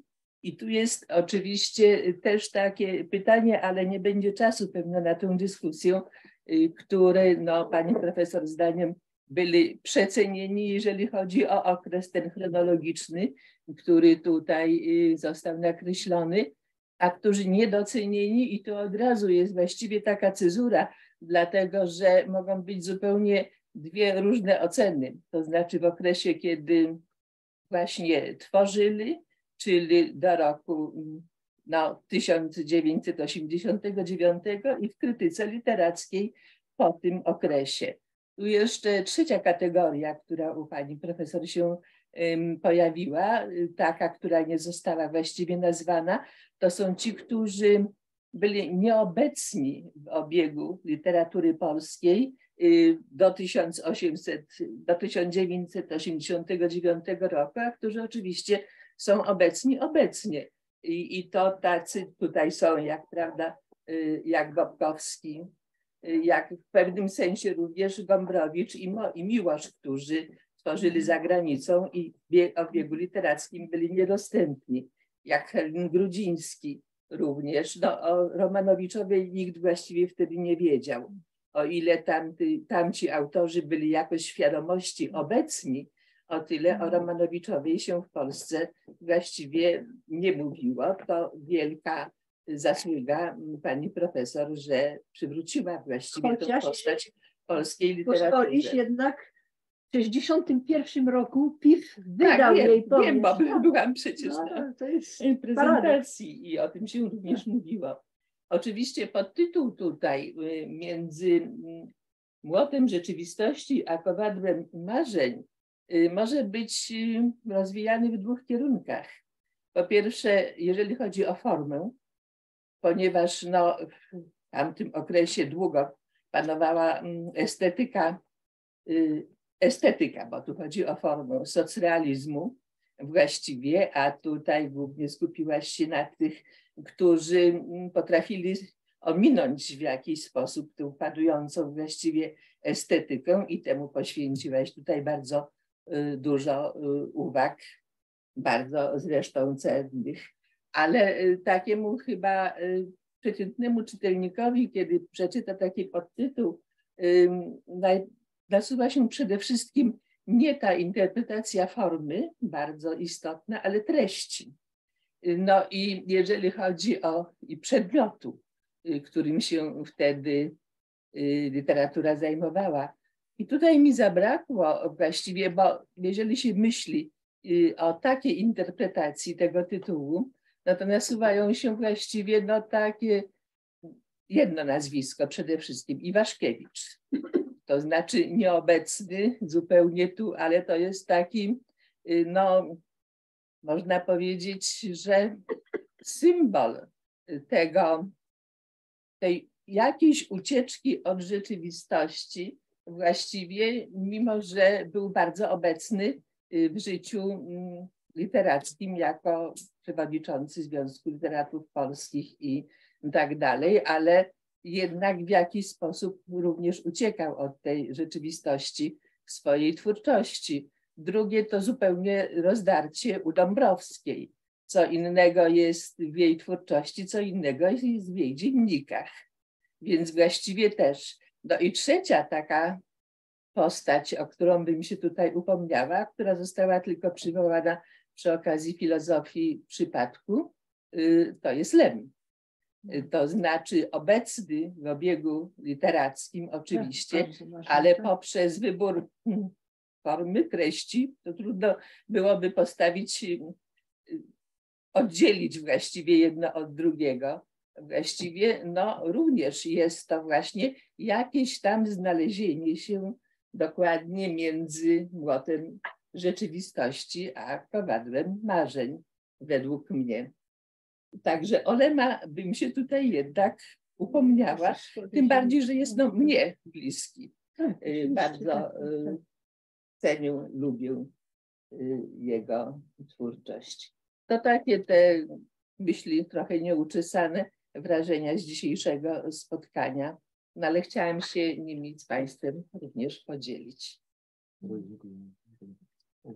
Jeśli można, właśnie na temat Lema, to jest bardzo ciekawy pisarz, ale y, muszę powiedzieć, że dla cudzoziemców, jak ja, to była bardzo trudna lektura na początku, bo wtedy, kiedy my wiemy, e, o co chodzi, jest świat normalny, ale taki świat, gdzie są dwa słońca w języku obcym, to staje się coś e, w ogóle ta, bo, bo jest zawsze e, za formą językową, jednak jest jakiś obraz świata.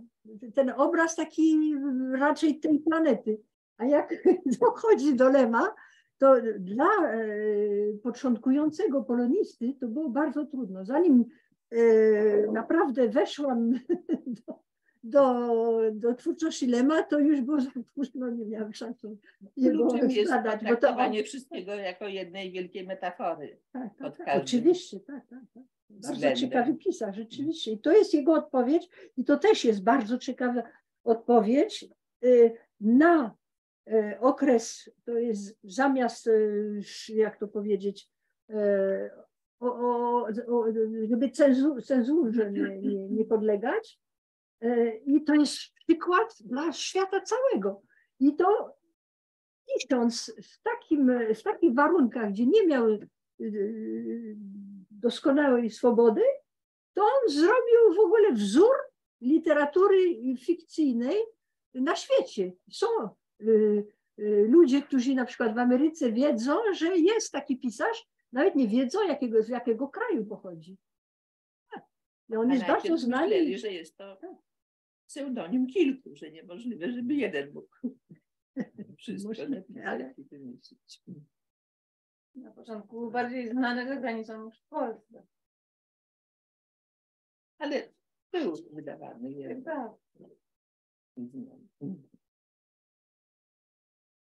Czy, czy mamy jakieś inne, inne pytania? Jest Czy- tak, tak, jeśli ja proszę. bym mogła. Bardzo dziękuję za wykład, który był fascynujący, zwłaszcza puenta i ten cytat z Alberta Camus, który mnie zupełnie urzekł i nie spodziewałabym się, e, że można tak odnaleźć wątki jungowskie, można by powiedzieć właśnie u Camus.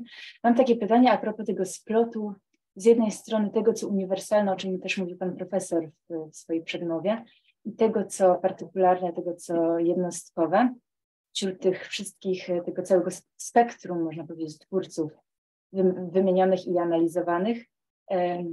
Podczas e, słuchania zadałam so- sobie to pytanie, jak bardzo różne mogą być te środki artystyczne, którymi wyrażamy pewną bezsilność czy sprzeciw e, wobec właśnie pewnej, pewnego poczucia niemocy, e, które się rodzi z, z tych doświadczeń, nie wiem, można powiedzieć, granicznych czy katastrof, aspe- aspektów reżimu totalitarnego. I z tego, co zrozumiałam, to właśnie nie chodzi o położenie na jednej płaszczyźnie tak różnych twórców jak Baczyński y, i Różewicz, bo na początku właśnie Mhm. sobie zadałam to pytanie, na czym polega właśnie y, ta wspólnota w pewnym sensie spojrzenia czy środków.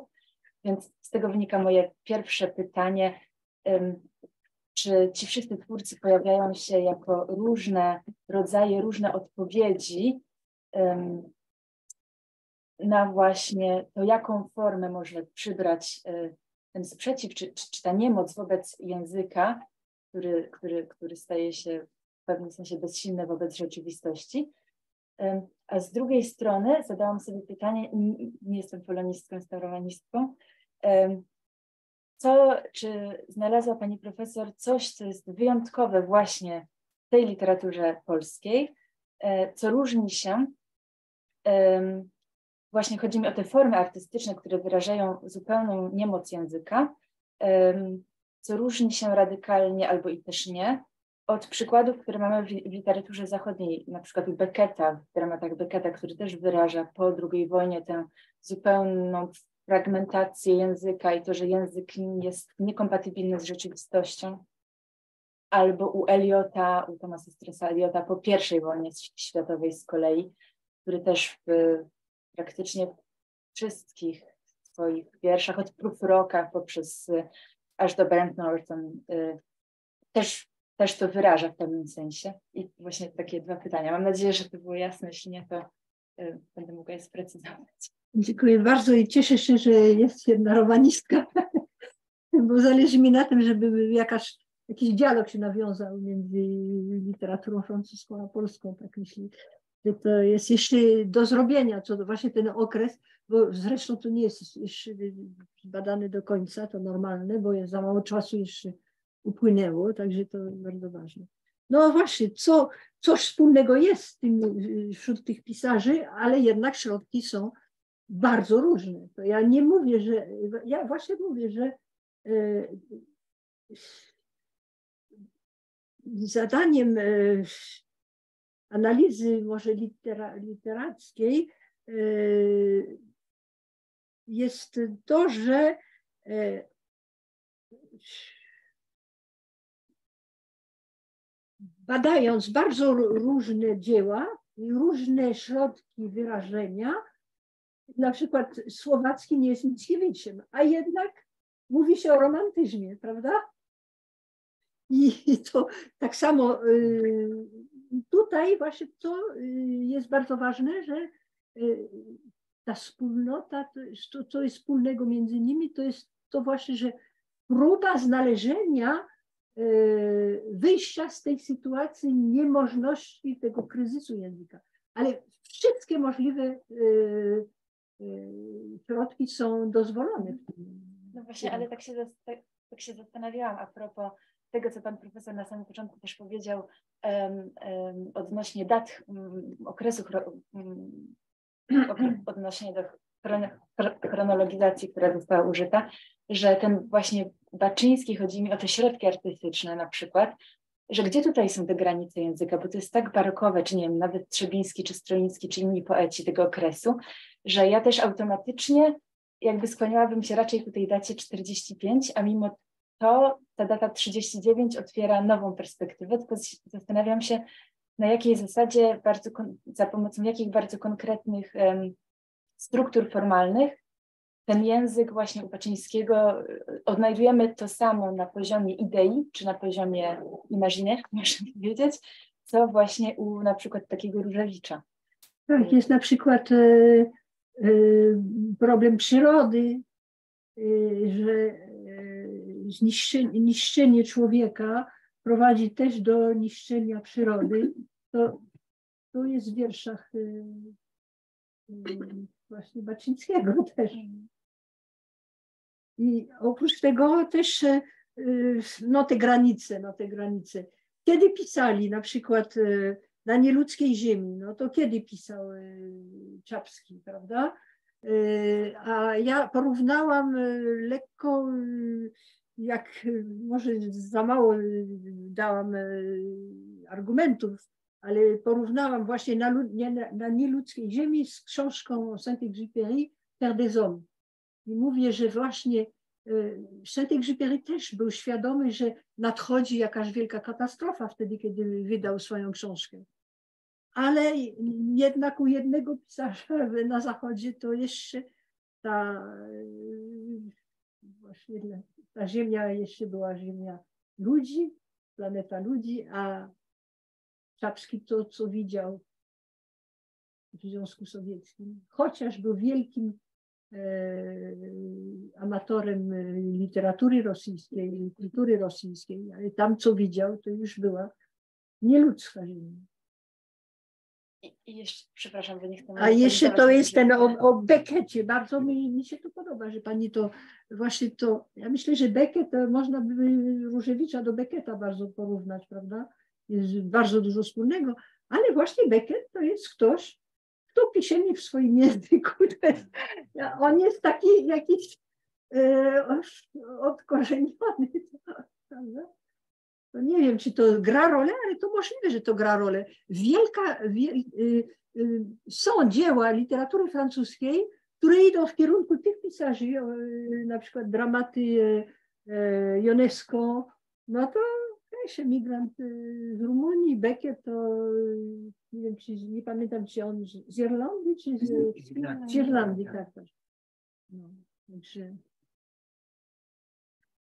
jest dużo pracy do zrobienia. To są takie, takie intuicje, które nie są jeszcze udowodnione należycie, ale to może jeżeli ktoś będzie miał więcej czasu, to mam nadzieję, że młode pokolenie podejmie takie zadanie. Dziękuję bardzo. To, niestety prawie już e, tak. czas spłynął. Po prostu e, może mamy jakieś pytania online. Nie wiem, czy mamy coś na Zoom, komentarze, ewentualnie, żeby nie, nic nie. W czacie również. Mhm.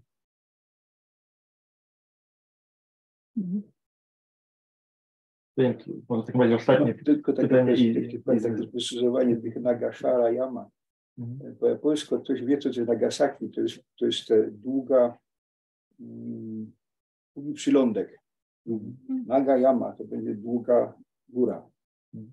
Ale też e, Nagayama też jest e, dziura. Po polsku, tak. Ale natomiast szara, to jest naga szara jama. To jest brzydkie po japońsku, bo szara to jest prostytutka. Taka gra jest też. To są właśnie to y, gra rejestrów, to jest bardzo ważna w tej literaturze, że może być język mówiony całkiem, no to to, co robi to, to arcydzieło Białoszewskiego, robi literaturę z tych y, słów takich codziennych. Nie literacji. Tak, I to jest u wielu pisarzy tego okresu. Nie? To ja bym jeszcze chciała taki krótki komentarz. E, ja jestem e, tutaj badaczką w ośrodku, nazywam się Kinga Turbicka i jestem politologiem, ale też historykiem. I to, co pani profesor pokazała i e, to, co, za to bardzo dziękuję, to jest właśnie, ja nie czytałam tej książki, ale na pewno do niej zajrzę. To właśnie ta francuska perspektywa na polską literaturę tego okresu, która jest inna, ciekawa i właśnie myślę, że potrzebna. Ja mieszkając we Francji byłam świadoma, że właśnie Francuzi nie znają historii Francji i tym bardziej literatury. Mhm. A bez historii, z tego co pani profesor mówiła i pan profesor, bez historii myślę, że zwłaszcza Polski nie można zrozumieć e, literatury, zwłaszcza tego okresu. E, myślę, e, że Polski i tak jak pani profesor też wspominała, cały czas się zastanawiałam nad tym wyborem subiektywnym pisarzy. Potem pani profesor wspomniała, czym był uwarunkowany ten wybór. E, który jest subiektywny, ale myślę, że też bym się ku niemu skłaniała i to tło historyczne tutaj jest też bardzo ważne. To, co też pani profesor pokazała w tej książce, myślę, i to, co też wynikało z tej wypowiedzi, to to, że ta literatura polska jest taka właśnie unik. Ona jest jednak jedyna i dosyć niepowtarzalna na skalę Europy, a dosyć specyficzna nawet w Europie Środkowej ponieważ ona jest taka bardzo od, oddająca tło historyczne i jednak to tło społeczne, te wszystkie wydarzenia. To mnie bardzo ujęło w tej, w tej, w tej książce, co pani profesor e, pokazuje. Ja bym zadała takie dwa pytania krótkie. Dlaczego Beksiński? I e, jeśli pani profesor by napisała dalszy ciąg tej książki, to znaczy 89 na przykład 2023, to jacy pisarze by się pojawili, na przykład pięciu takich e, najważniejszych, którzy przychodzą pani profesor tak e, intuicyjnie na szybko do, do głowy. Dziękuję. Jeśli można takiego wyboru. Tak, jeśli od, od razu powiem, że y, bardzo dużo czasu poświęciłam tym pisarzom i jak nastały te zmiany, to od czasu do czasu y, czytam coś, ale nie jestem w stanie powiedzieć, kogo bym mhm. wybrała. Naprawdę to jest, to wymaga za dużo y, czasu, którego nie mam i także nie mogę się wypowiedzieć na temat tego okresu obecnego. Y, I to, co ciekawe jednak, że wtedy, kiedy pisałam o tych pisarzach, nawet zaczęłam pisać o, o, o Konwickim wtedy, kiedy on jeszcze pisał. On jeszcze nie miał całości mhm. swojego dzieła to on był mi, mnie był współczesny naprawdę.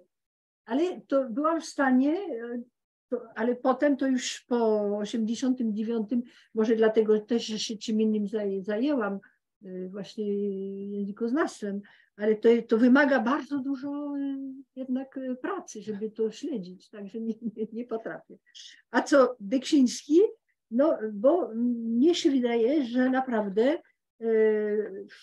na pewno są inni malarze, ale on, może przypadek sprawił, że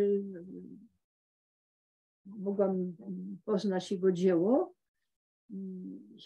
Wtedy nawet pamiętam w 1983 roku, wtedy kiedy był stan wojenny, nie wiem jak żył w ogóle Beksiński, ale chyba bardzo źle żył w PRL-u.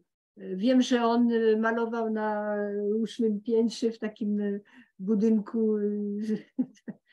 Niedaleko stąd. Y, prawda? Także, no, zresztą Białoszewski też tak żył, tak, w takim. Y, ale właśnie wtedy jacyś, y, nie wiem kto, bo my mieliśmy pismo takie poza cenzurą w Paryżu i między innymi dotarły do nas jakieś reprodukcje dzieł Beksińskiego.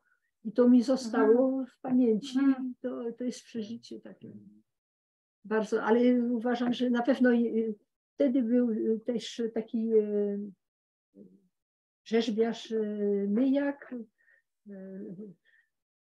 Był, w Paryżu był taki rzeźbiarz Paweł Jocz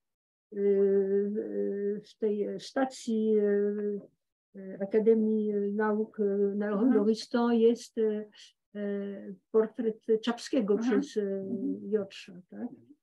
tak. No Jocza. A jeszcze malarza w Paryżu, który w ogóle nigdy nie zrobił kariery w, w Polsce, bo był na imigracji. Michał Józefowicz. Też był taki malarz. Mhm. Ale on mieszkał w Paryżu i bardzo młodo zmarł. W strasznych warunkach. Ale uważam, że jednak tak jak e, romantyzmu się nie da zrozumieć, e, tylko czytając, a nie patrząc na to, co się wtedy malowało, co się, jaka była muzyka. Mhm.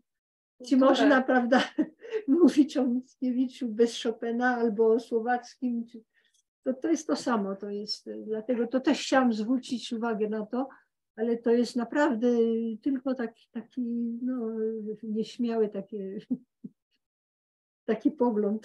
I jaka polityka, bo tutaj był również wątek Związku Literatury Polskiej z polityką, chyba jak żadna inna. No tak, jest związana właśnie z to- polityką tak, przez tak, cały i dlatego czas. właśnie mnie interesowało, jak niektórzy pisarze potrafią się podnieść nad, nad tym problemem. No i no, poznałam osobiście Mrożka. To był niesamowity pisarz, naprawdę. Tak. Zaczął karierę w Polsce. I czekając tego do tej i indyk troszkę, tak? I też. Chociażby. Przywołany. Jego e, język jest niesamowity i właśnie ta, ta cała filozofia. To, to, tauto, tauto, tautologia u niego jest, tautologia to jest też bardzo ważne w tej literaturze, jest u Szymborskiej. E, Jak to będzie wspaniale, kiedy literatura będzie, to, to jest moja parafraza, będzie można pisać, że krowy są krowami, prawda?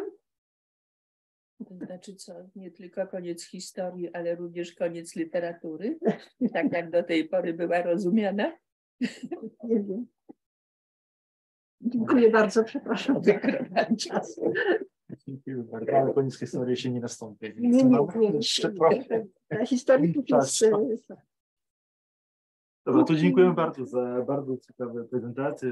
Dziękujemy profesorowi, pani profesor za, za napisanie takiego arcydzieła i za pani profesorowi za komentarze. Więc no i mamy nadzieję, że ta książka będzie miała teraz drugie życie w Polsce również, a nie tylko we Francji. jest- Albo w tłumaczeniu, albo w wersji francuskiej. Zobaczymy. Ale Raczej nie- tłumaczenie tak, trzeba, tak najbardziej. W Polsce musi być po polsku. Żeby książka też otrzymała swoje własne istnienie Jak teraz. e, pan dyrektor ma jakąś e, możliwość rozmawiania z, z tłumaczami, to proszę zachęcić. No, A postaram i się wtedy podrzucić pomo- pomysły. pomocą temu tłumaczowi, prawda, że nie będzie miał... Dziękuję bardzo publiczności również w tej sali na, na Zoomie i do, do zobaczenia na naszym kolejnym spotkaniu w takim razie. Dziękujemy wszystkim Dziękuję i bardzo. miłego wieczoru. Dziękuję. Do widzenia.